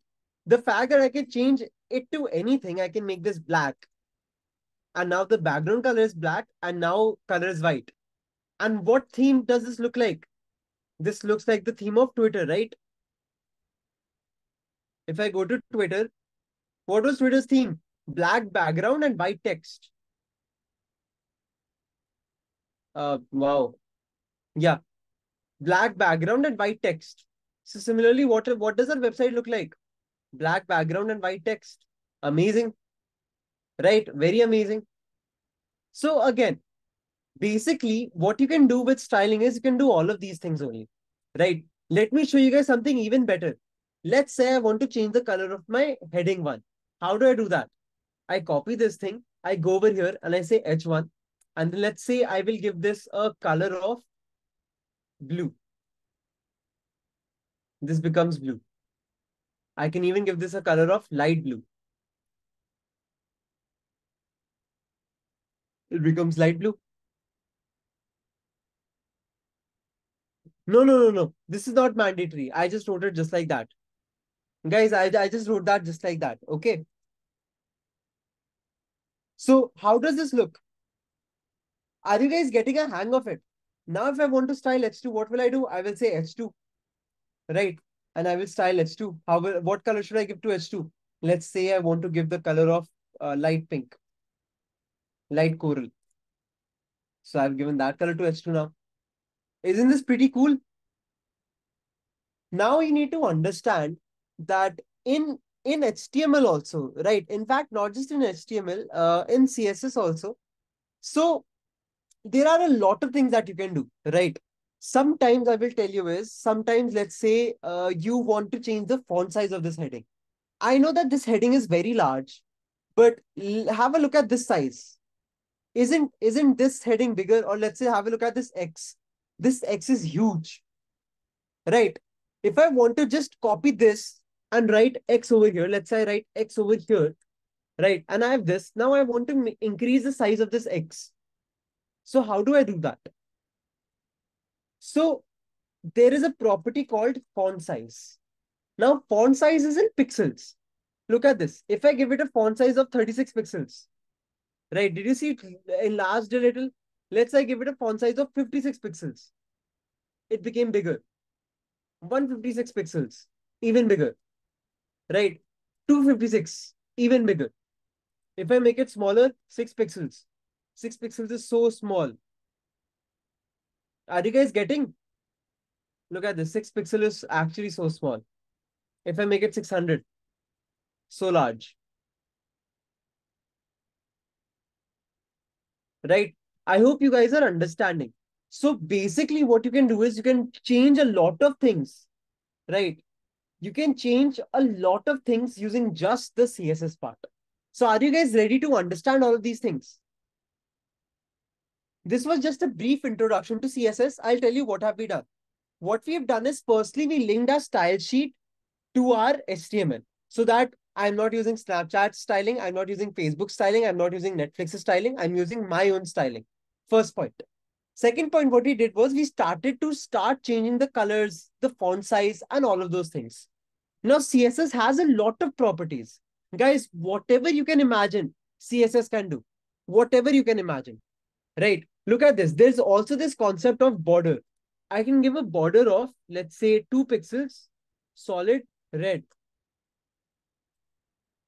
Look at how my heading has a border. Right? If I make it 20 pixels, it will be a thicker border. If I make it one pixel, it will be a thinner. Two is a little uh, bigger, right? Five looks like this, a little thicker. Correct. This is the color. I'll teach you what solid means. So basically your styling allows you to do all of these things. It allows you to change different, different things, right? Give borders, give colors, give change the font size. You can even change the gap. You can even change the gap. And I'll tell you that also. All right. So are you guys ready? Let's start learning right? Okay. Now, there's one concept that I had to teach you guys yesterday, but I decided not to, right? And today we're going to start learning about that, right? So you need to understand one thing. Right now, what did our body have or what, did, what was our page, what did our page look like right now? Right now, uh, our page basically looked like this. Our page had a heading, right? Let's say there's a heading so we had an H1, then we have an H2, then we have an H3, then we had an H4, then we had a button, right? Uh, then we had a lot of other other things, right? So don't you think this will get a little out of hand? Because see, let's let's go to Wikipedia itself. If we go to Wikipedia and if I search something, right? If I search something, even though I told you guys that we have one heading, we have one line, then we have this text over here, I had to teach you that. Then we have text, then we have paragraph, then again a paragraph, then again a paragraph, then over here images. Don't you think this is going to get very, very long? This code is going to be very long, right? What do you think? I think this code is going to be very, very long. Correct. So how do we organize this? Uh, because a person, if a person starts to write one line by line, line by line, line by line, it's going to be very annoying, right? So what CSS actually came up with was the box model, right? Was the box model. And I'll tell you what precisely this box model means. So the way I like to look at it is everything on a website is a box, right? Everything on this website is just a box and I will prove that to you. Have a look at this. What I will do is I will take a screenshot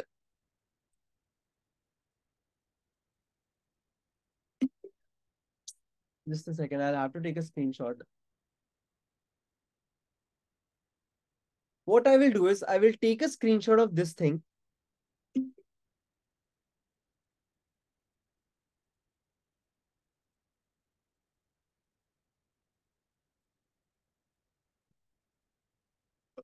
Sorry, and I'll tell you about the box model.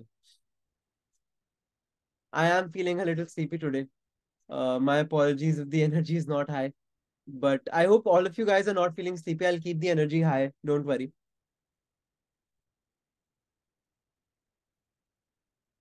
But yes. Okay.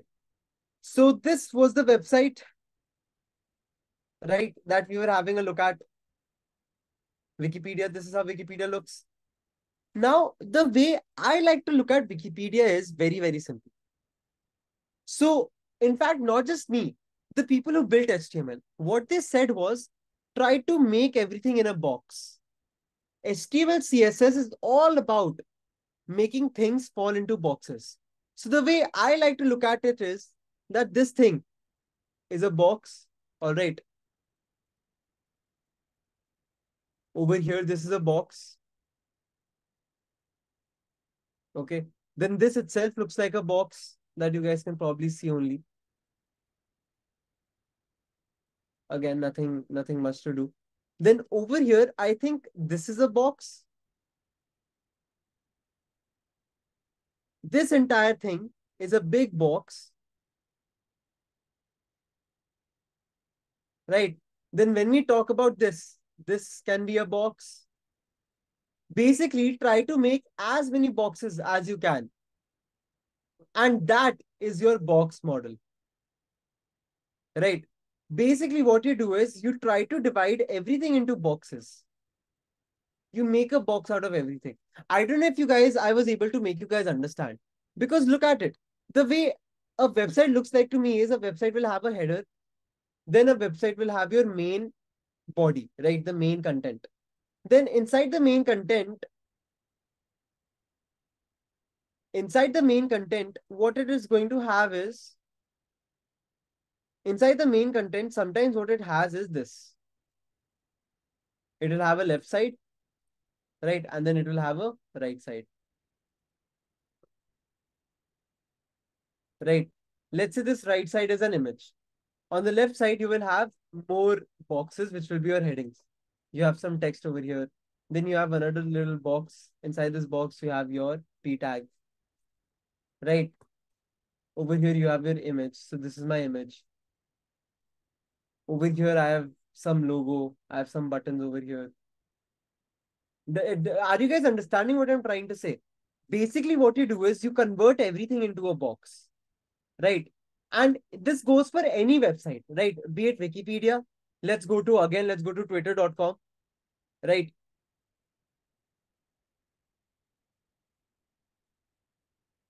If I go to twitter.com, even this landing page, even this is a box, right? Uh, let's see, even if I cancel this and get rid of this, even this is a box. What is the box over here? I'll show you. So the box over here is basically this thing. This is one box. This is the other box. This box has this box, this box. Basically, there's no correct or right way of doing it. Just keep on making boxes. Even this is a box. This is a box. This is a box, right? This thing is a box. So your job is to just make as many boxes as you can. Is this making sense, guys? Please tell me if it is making sense. And again, this goes for any website in this planet, any website, be it even if it is AccioJob, right? I'll tell you as an AccioJob developer, even I had to make all of these boxes. Look at this. So this thing is probably a box. This you guys can see this is a box, right? This box itself has two boxes. One is this box, then the other is this box, right? Over here you have this box, then over here you have these, these boxes, right? Then again, this is a box probably. Are you guys getting the hang of it? Please tell me if this is making sense to everyone. And every box in HTML is what we call as a div. Every box in HTML is what we are going to call as a div. So basically what we are going to do is on our own, according to our own wish, we will just club things together. So let's say we have a few headings, right? Let's say we have a few headings. What I will do is I will club these headings inside a box. And this box is what I call as a div. A div is nothing but it's just a box. It's like a container. And why do you want to containerize things? Why do you want to containerize? Just like you would want to containerize anything else. Right, just like you would want to containerize any. If you have a little example or if you have a little pre-knowledge of code, you will understand that even code one good practice is to make everything into an object, make everything modular, right? So basically what we do is these, these headings and these p tags are not in the air. They're not random. They are inside boxes, right? And every box will have a certain thing to do. So look at this. Even though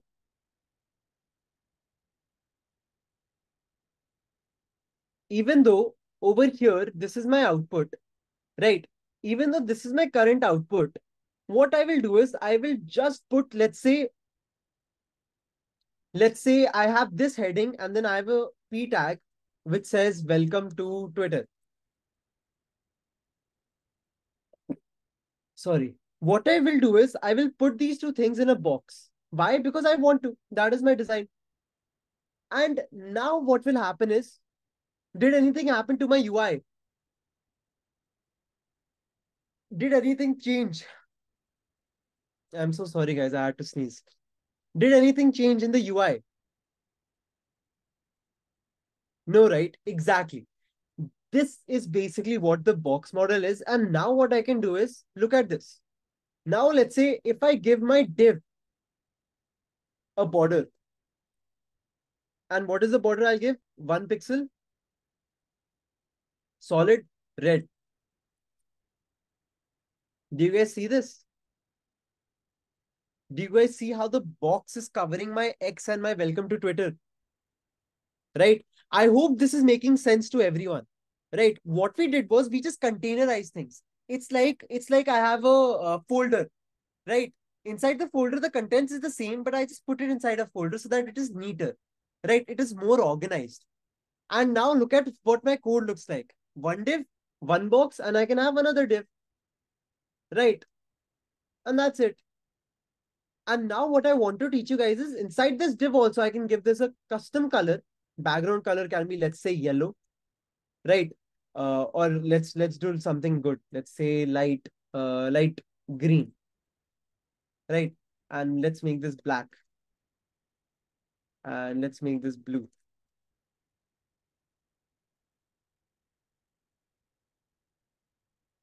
I'm so sorry, guys. The theme, color theme is not the best.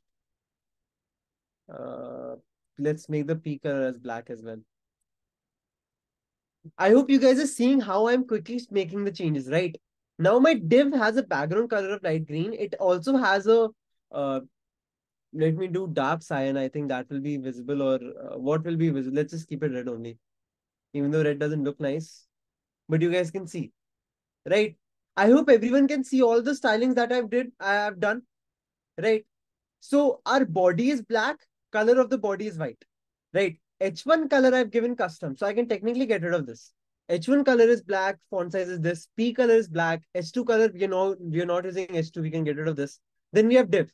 The div has a border of 20 pixels, solid and red, right? So solid border. See, there are different, different types of borders. I can make this dashed also.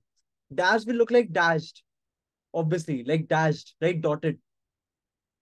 Then apart from this, I can have something like, uh, there are other, other types of borders as well. Uh, let's say, uh, give me a second, border style. Dashed, uh, double groove. Groove is really nice. So I can even do groove. Right, look at how groove looks. It looks a little cool, right? Look at this, two shades automatically. So basically, how, how do I know all of these things? You might be wondering.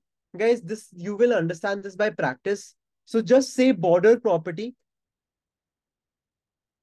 in CSS, right? And go to this W3 school class and uh, W3 school's website. Over here, you will understand that there are different, different border styles. And these border styles can be anything, right? So look at this. You have solid. This would be dotted. This would be dashed. This would be inset. This would be outset, right? Uh, this would be ridge, groove, double, correct? None, hidden, hidden and none are just hidden only.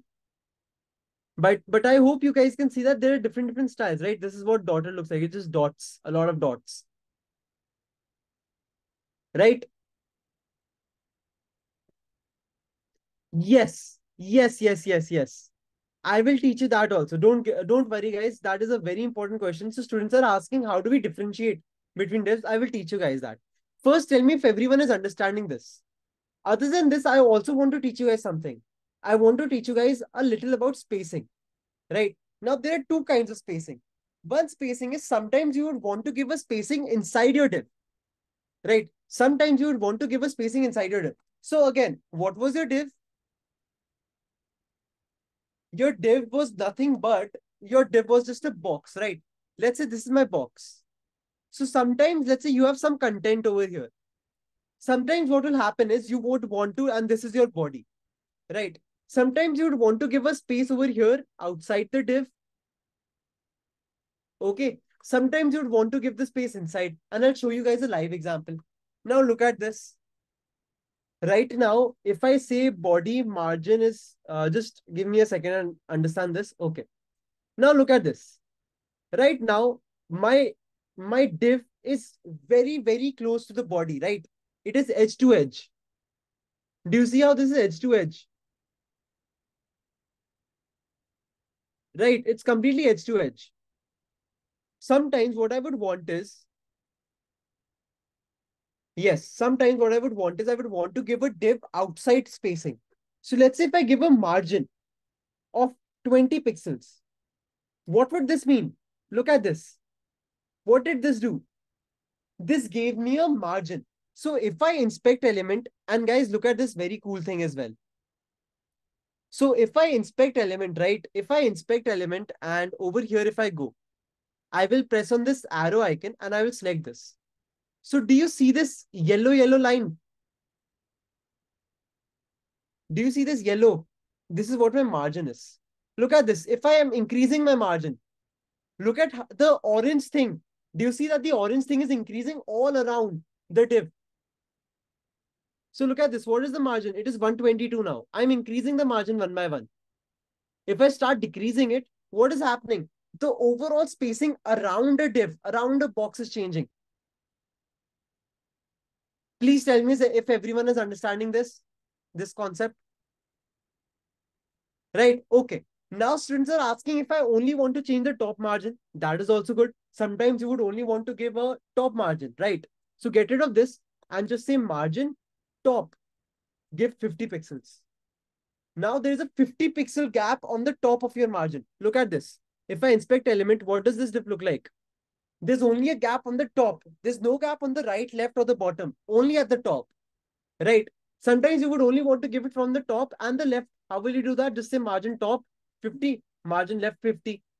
So the, from the top it is 50, from the left it is 50. I hope this is making sense. So, okay, somebody wants me to repeat. So basically what I'm saying is that what is margin? Margin is the overall space that is there outside a div. So let's say you have a margin, you have this div, right? Look at this, you have this div. And what you are doing is,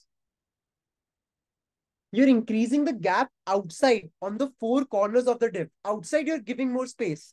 So let's say there were two divs. Look at this. I would like to show you guys something. Uh, look at this. Let's say I have some text over here which says, hi, hello. Okay, and I want you to look at this. So I'm going to give this a color of white only. So look at this. I have this text, hi, hello. Right. And do you see that this text is so close? So, so, so close to my uh, box. Right. What I will do is I will give this a two pixel border only right. And what i can do now is i can let's say uh, yeah this is good. So do you see how these these two boxes are just attaching touching each other? Let's say i don't want to do that. Right. Let's say in fact i have another div only. I have another div and this div says hi hello. Look at this. So these two divs and these two divs are basically touching each other. I don't want that to happen. So what will i give? I will give them a space. But where do i give them a space I will give them a space outside. So now if I add a margin, look at this. If I add a margin of 10 pixels, do you see how there's a gap now? And what is the gap? There's a gap of 10, 10 pixels around the div. So look at this. If I go over here and this is my div styling, if I'm increasing the gap, look at how the gap is increasing. Do you see this? So right now my margin is what? 90 pixels. So I have 90 pixels of spacing around both of these divs. Is this making sense? Right? Is this making sense, guys? Please tell me if this is making sense. Okay. Now have a look at this. Now, sometimes what will happen is sometimes, let's say my code is, my color is black only. So this is black. Now look at this. Do you see that inside this green div, there's very less space. If I, by the way, I'll show you guys something. Your headings by default have certain margin. So if you get rid of this heading and p tag margin, even this is too attached. Do you see how the divs are too attached, like from the inside? If I if I talk about uh, what I'm saying now is I'm saying that inside this div, inside this div, do you see that there's so less space? It's basically touching each other, this thing. Look at this. There's so less space inside, right? So I told you guys, right? There will be two types of spaces. One space will be outside. One space will be outside over here that you would want to change. And the other space will be inside inside the div. Let's say inside this div, you want to change the space. So how do you change that space? Opposite of margin, just like we had margin, right? Just like we had margin, the opposite of margin is what? Padding. So what you will do is you will give padding. So look at this. I will give a padding. And when I give a padding, look at how my space is changing, right? So now what I can do is my padding is inside this div uh, it is not really visible. What I'll do is I'll make this as uh, white. Okay, now you guys can see the padding. Now look at this. I'm increasing the padding. I'm increasing the space. So how is the space increasing? Do you see how all the four corners, all the four corners have, have a thick lining now, right? So what, what ended up happening was what ended up happening was over here, I increased the space inside. So inside the div, I have increased the space. So this is the empty space now. Right. Similarly, over here, this is my con content. And over here, I have all the white space outside. And outside, what is the amount of space I have? On the top, left, bottom, right, I have a space of padding of 60 pixels.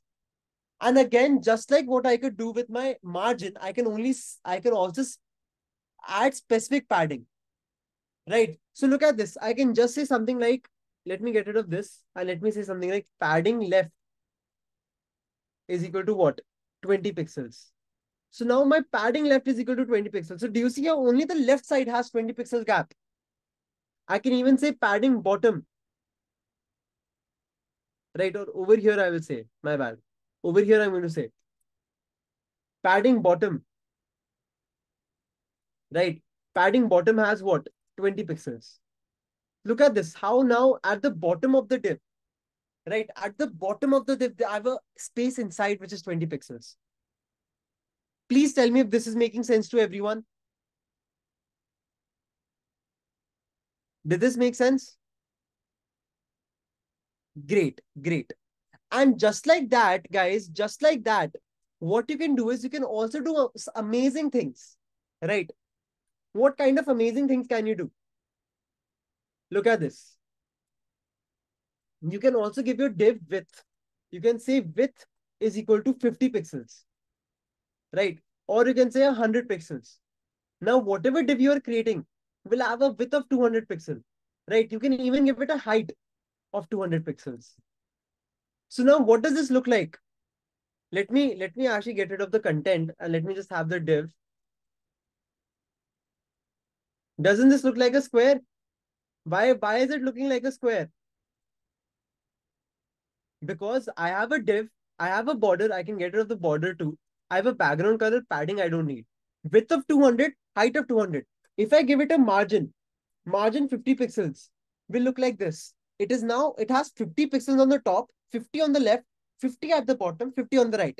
Having 50 space on the right and bottom is not mattering because there are there is so much space anyways. Right. Correct. Now look at this very, very cool thing. Let's say I have a border radius. Now look at this. If I give it a radius of 5 pixels, just look at the corner. 5 pixels, 10 pixels, 15 pixels, 20 pixels. Do you see how my div is becoming curved? So even if I want to make a curved div, I can just give it a border radius. Right? 50 pixels, Correct. Can you guys see this? Please tell me if you guys can see this. If not, I will show it to you guys like this only. Now, look at this amazing thing.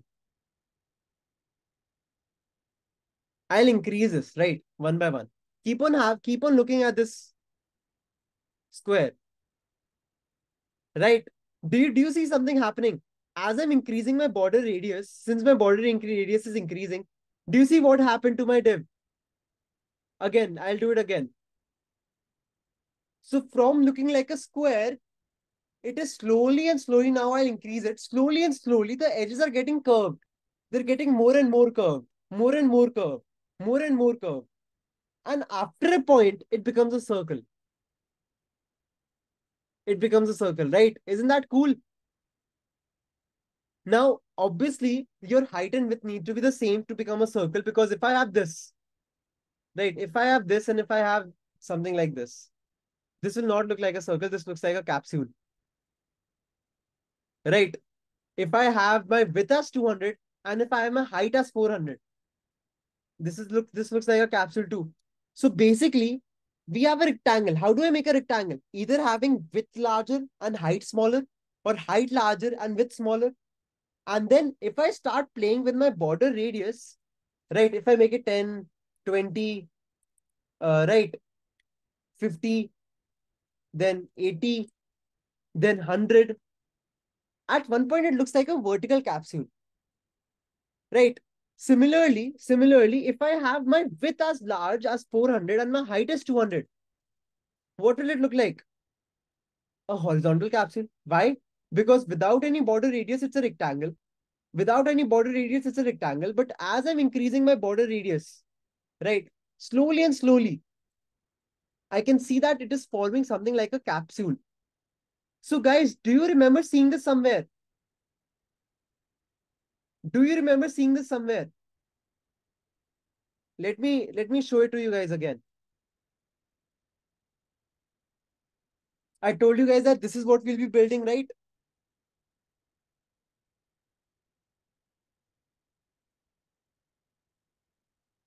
So do you see this?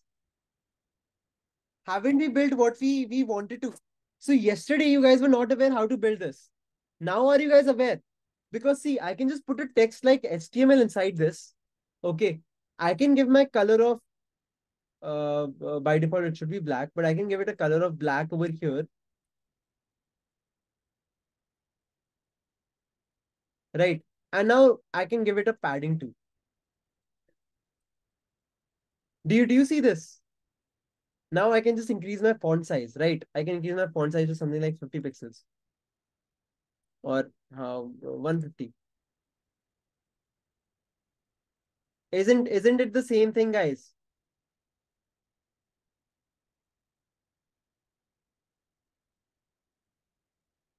Just the only thing is it has a border, right? Yes, you can also make triangles, but triangles is a little difficult. I will not teach you how to make a triangle. Okay.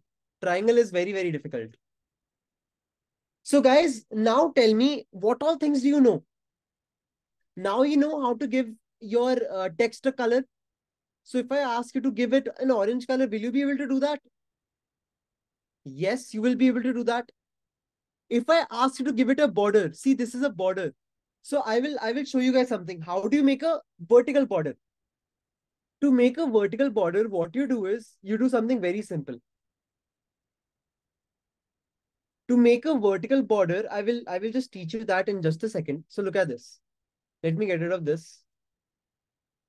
Let me get rid of this also.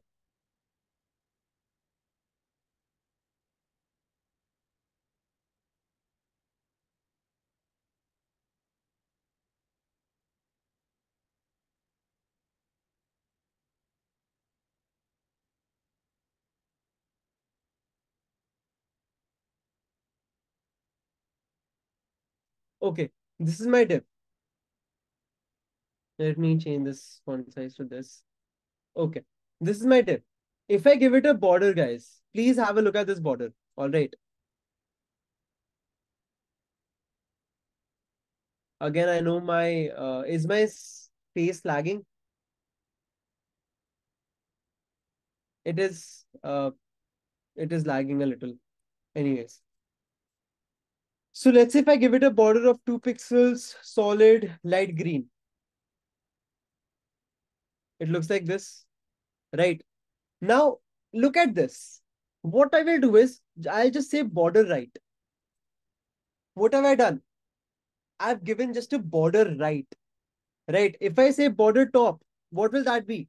Just one border top. If I say border left, what will that be? Just border left. Border bottom, that'll be border bottom. So I can just give border right and that will mean I have a vertical line. So are you guys getting a hang of things? Right. So basically using CSS, yes, yes, you can do that too. Border right and border left. Do this. Now you have two vertical lines. Isn't that cool? Right? Correct, guys?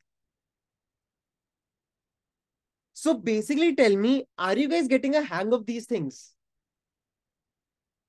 So now if I if I think about it, let's have a look at what our portfolio will have. Okay, let's have a look at what our portfolio will have. I think because of this Figma only, my uh, screen starts to lag. What I will do is I'll open a Figma. I have the app as well. Let me open it through the app. Maybe it will lag less.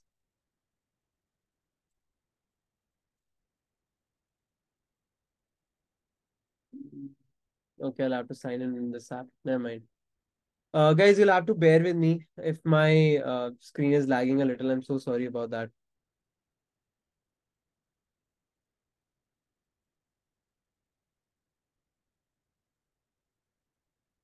Have a look at this, guys. So over here, what, what do you see?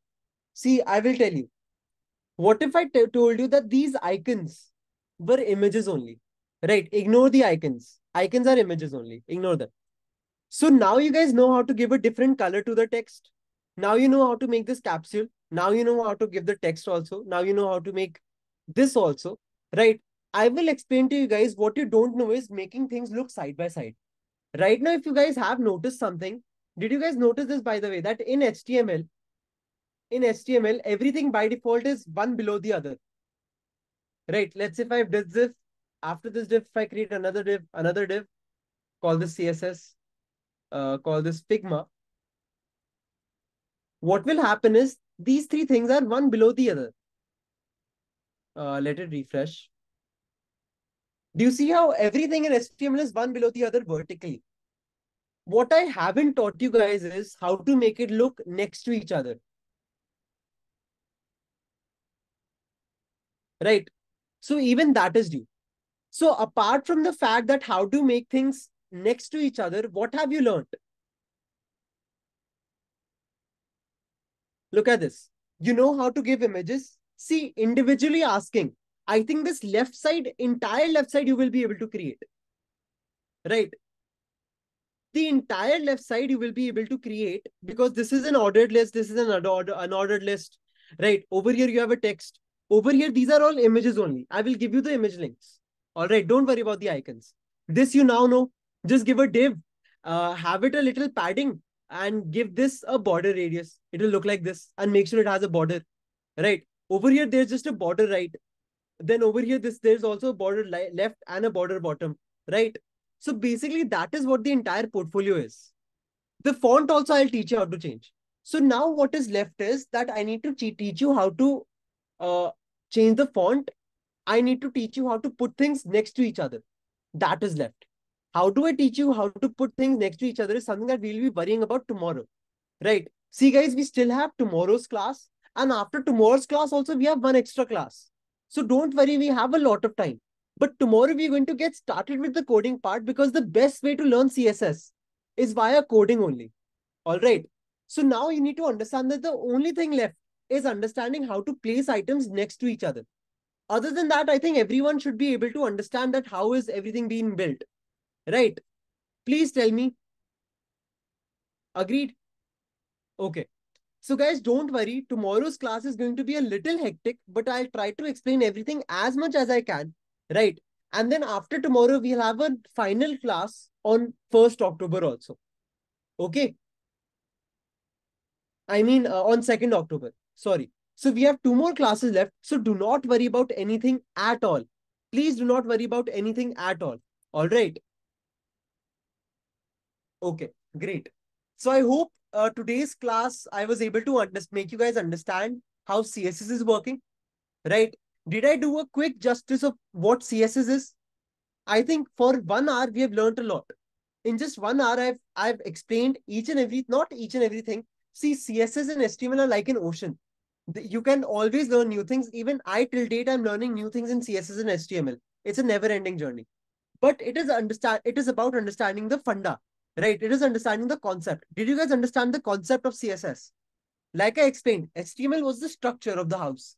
CSS is the painting and the beautification and the flooring, the wallpaper, changing color, right? Making sure that things are on the right, things are on the left. That is what CSS is about. And I will teach you guys more about CSS tomorrow with while coding about our portfolio. All right. So tomorrow's class is a very important class, guys. Tomorrow we'll have two hours to code this entire thing. So I hope to see you there tomorrow. And please be there. All right. 8 to 10 p.m. Same timing tomorrow. Now I'll let you guys be. I know you guys have to have dinner. So go have your dinners. Enjoy. But I hope I was able to make you guys understand a little about how CSS is working. All right. That sounds good. Great. So I hope to see you tomorrow, guys. And please be there 8 to 10 p.m. And thank you so much for watching. And yeah, uh, please take care and enjoy your Saturday nights. Tomorrow will be a Sunday night. We'll be here tomorrow as well. And then Monday night as well. But don't worry, after Monday, you guys will be free. And uh, yes, definitely. I hope to see you tomorrow. And thank you so much for giving me your time. I'll just end the class now. Thank you.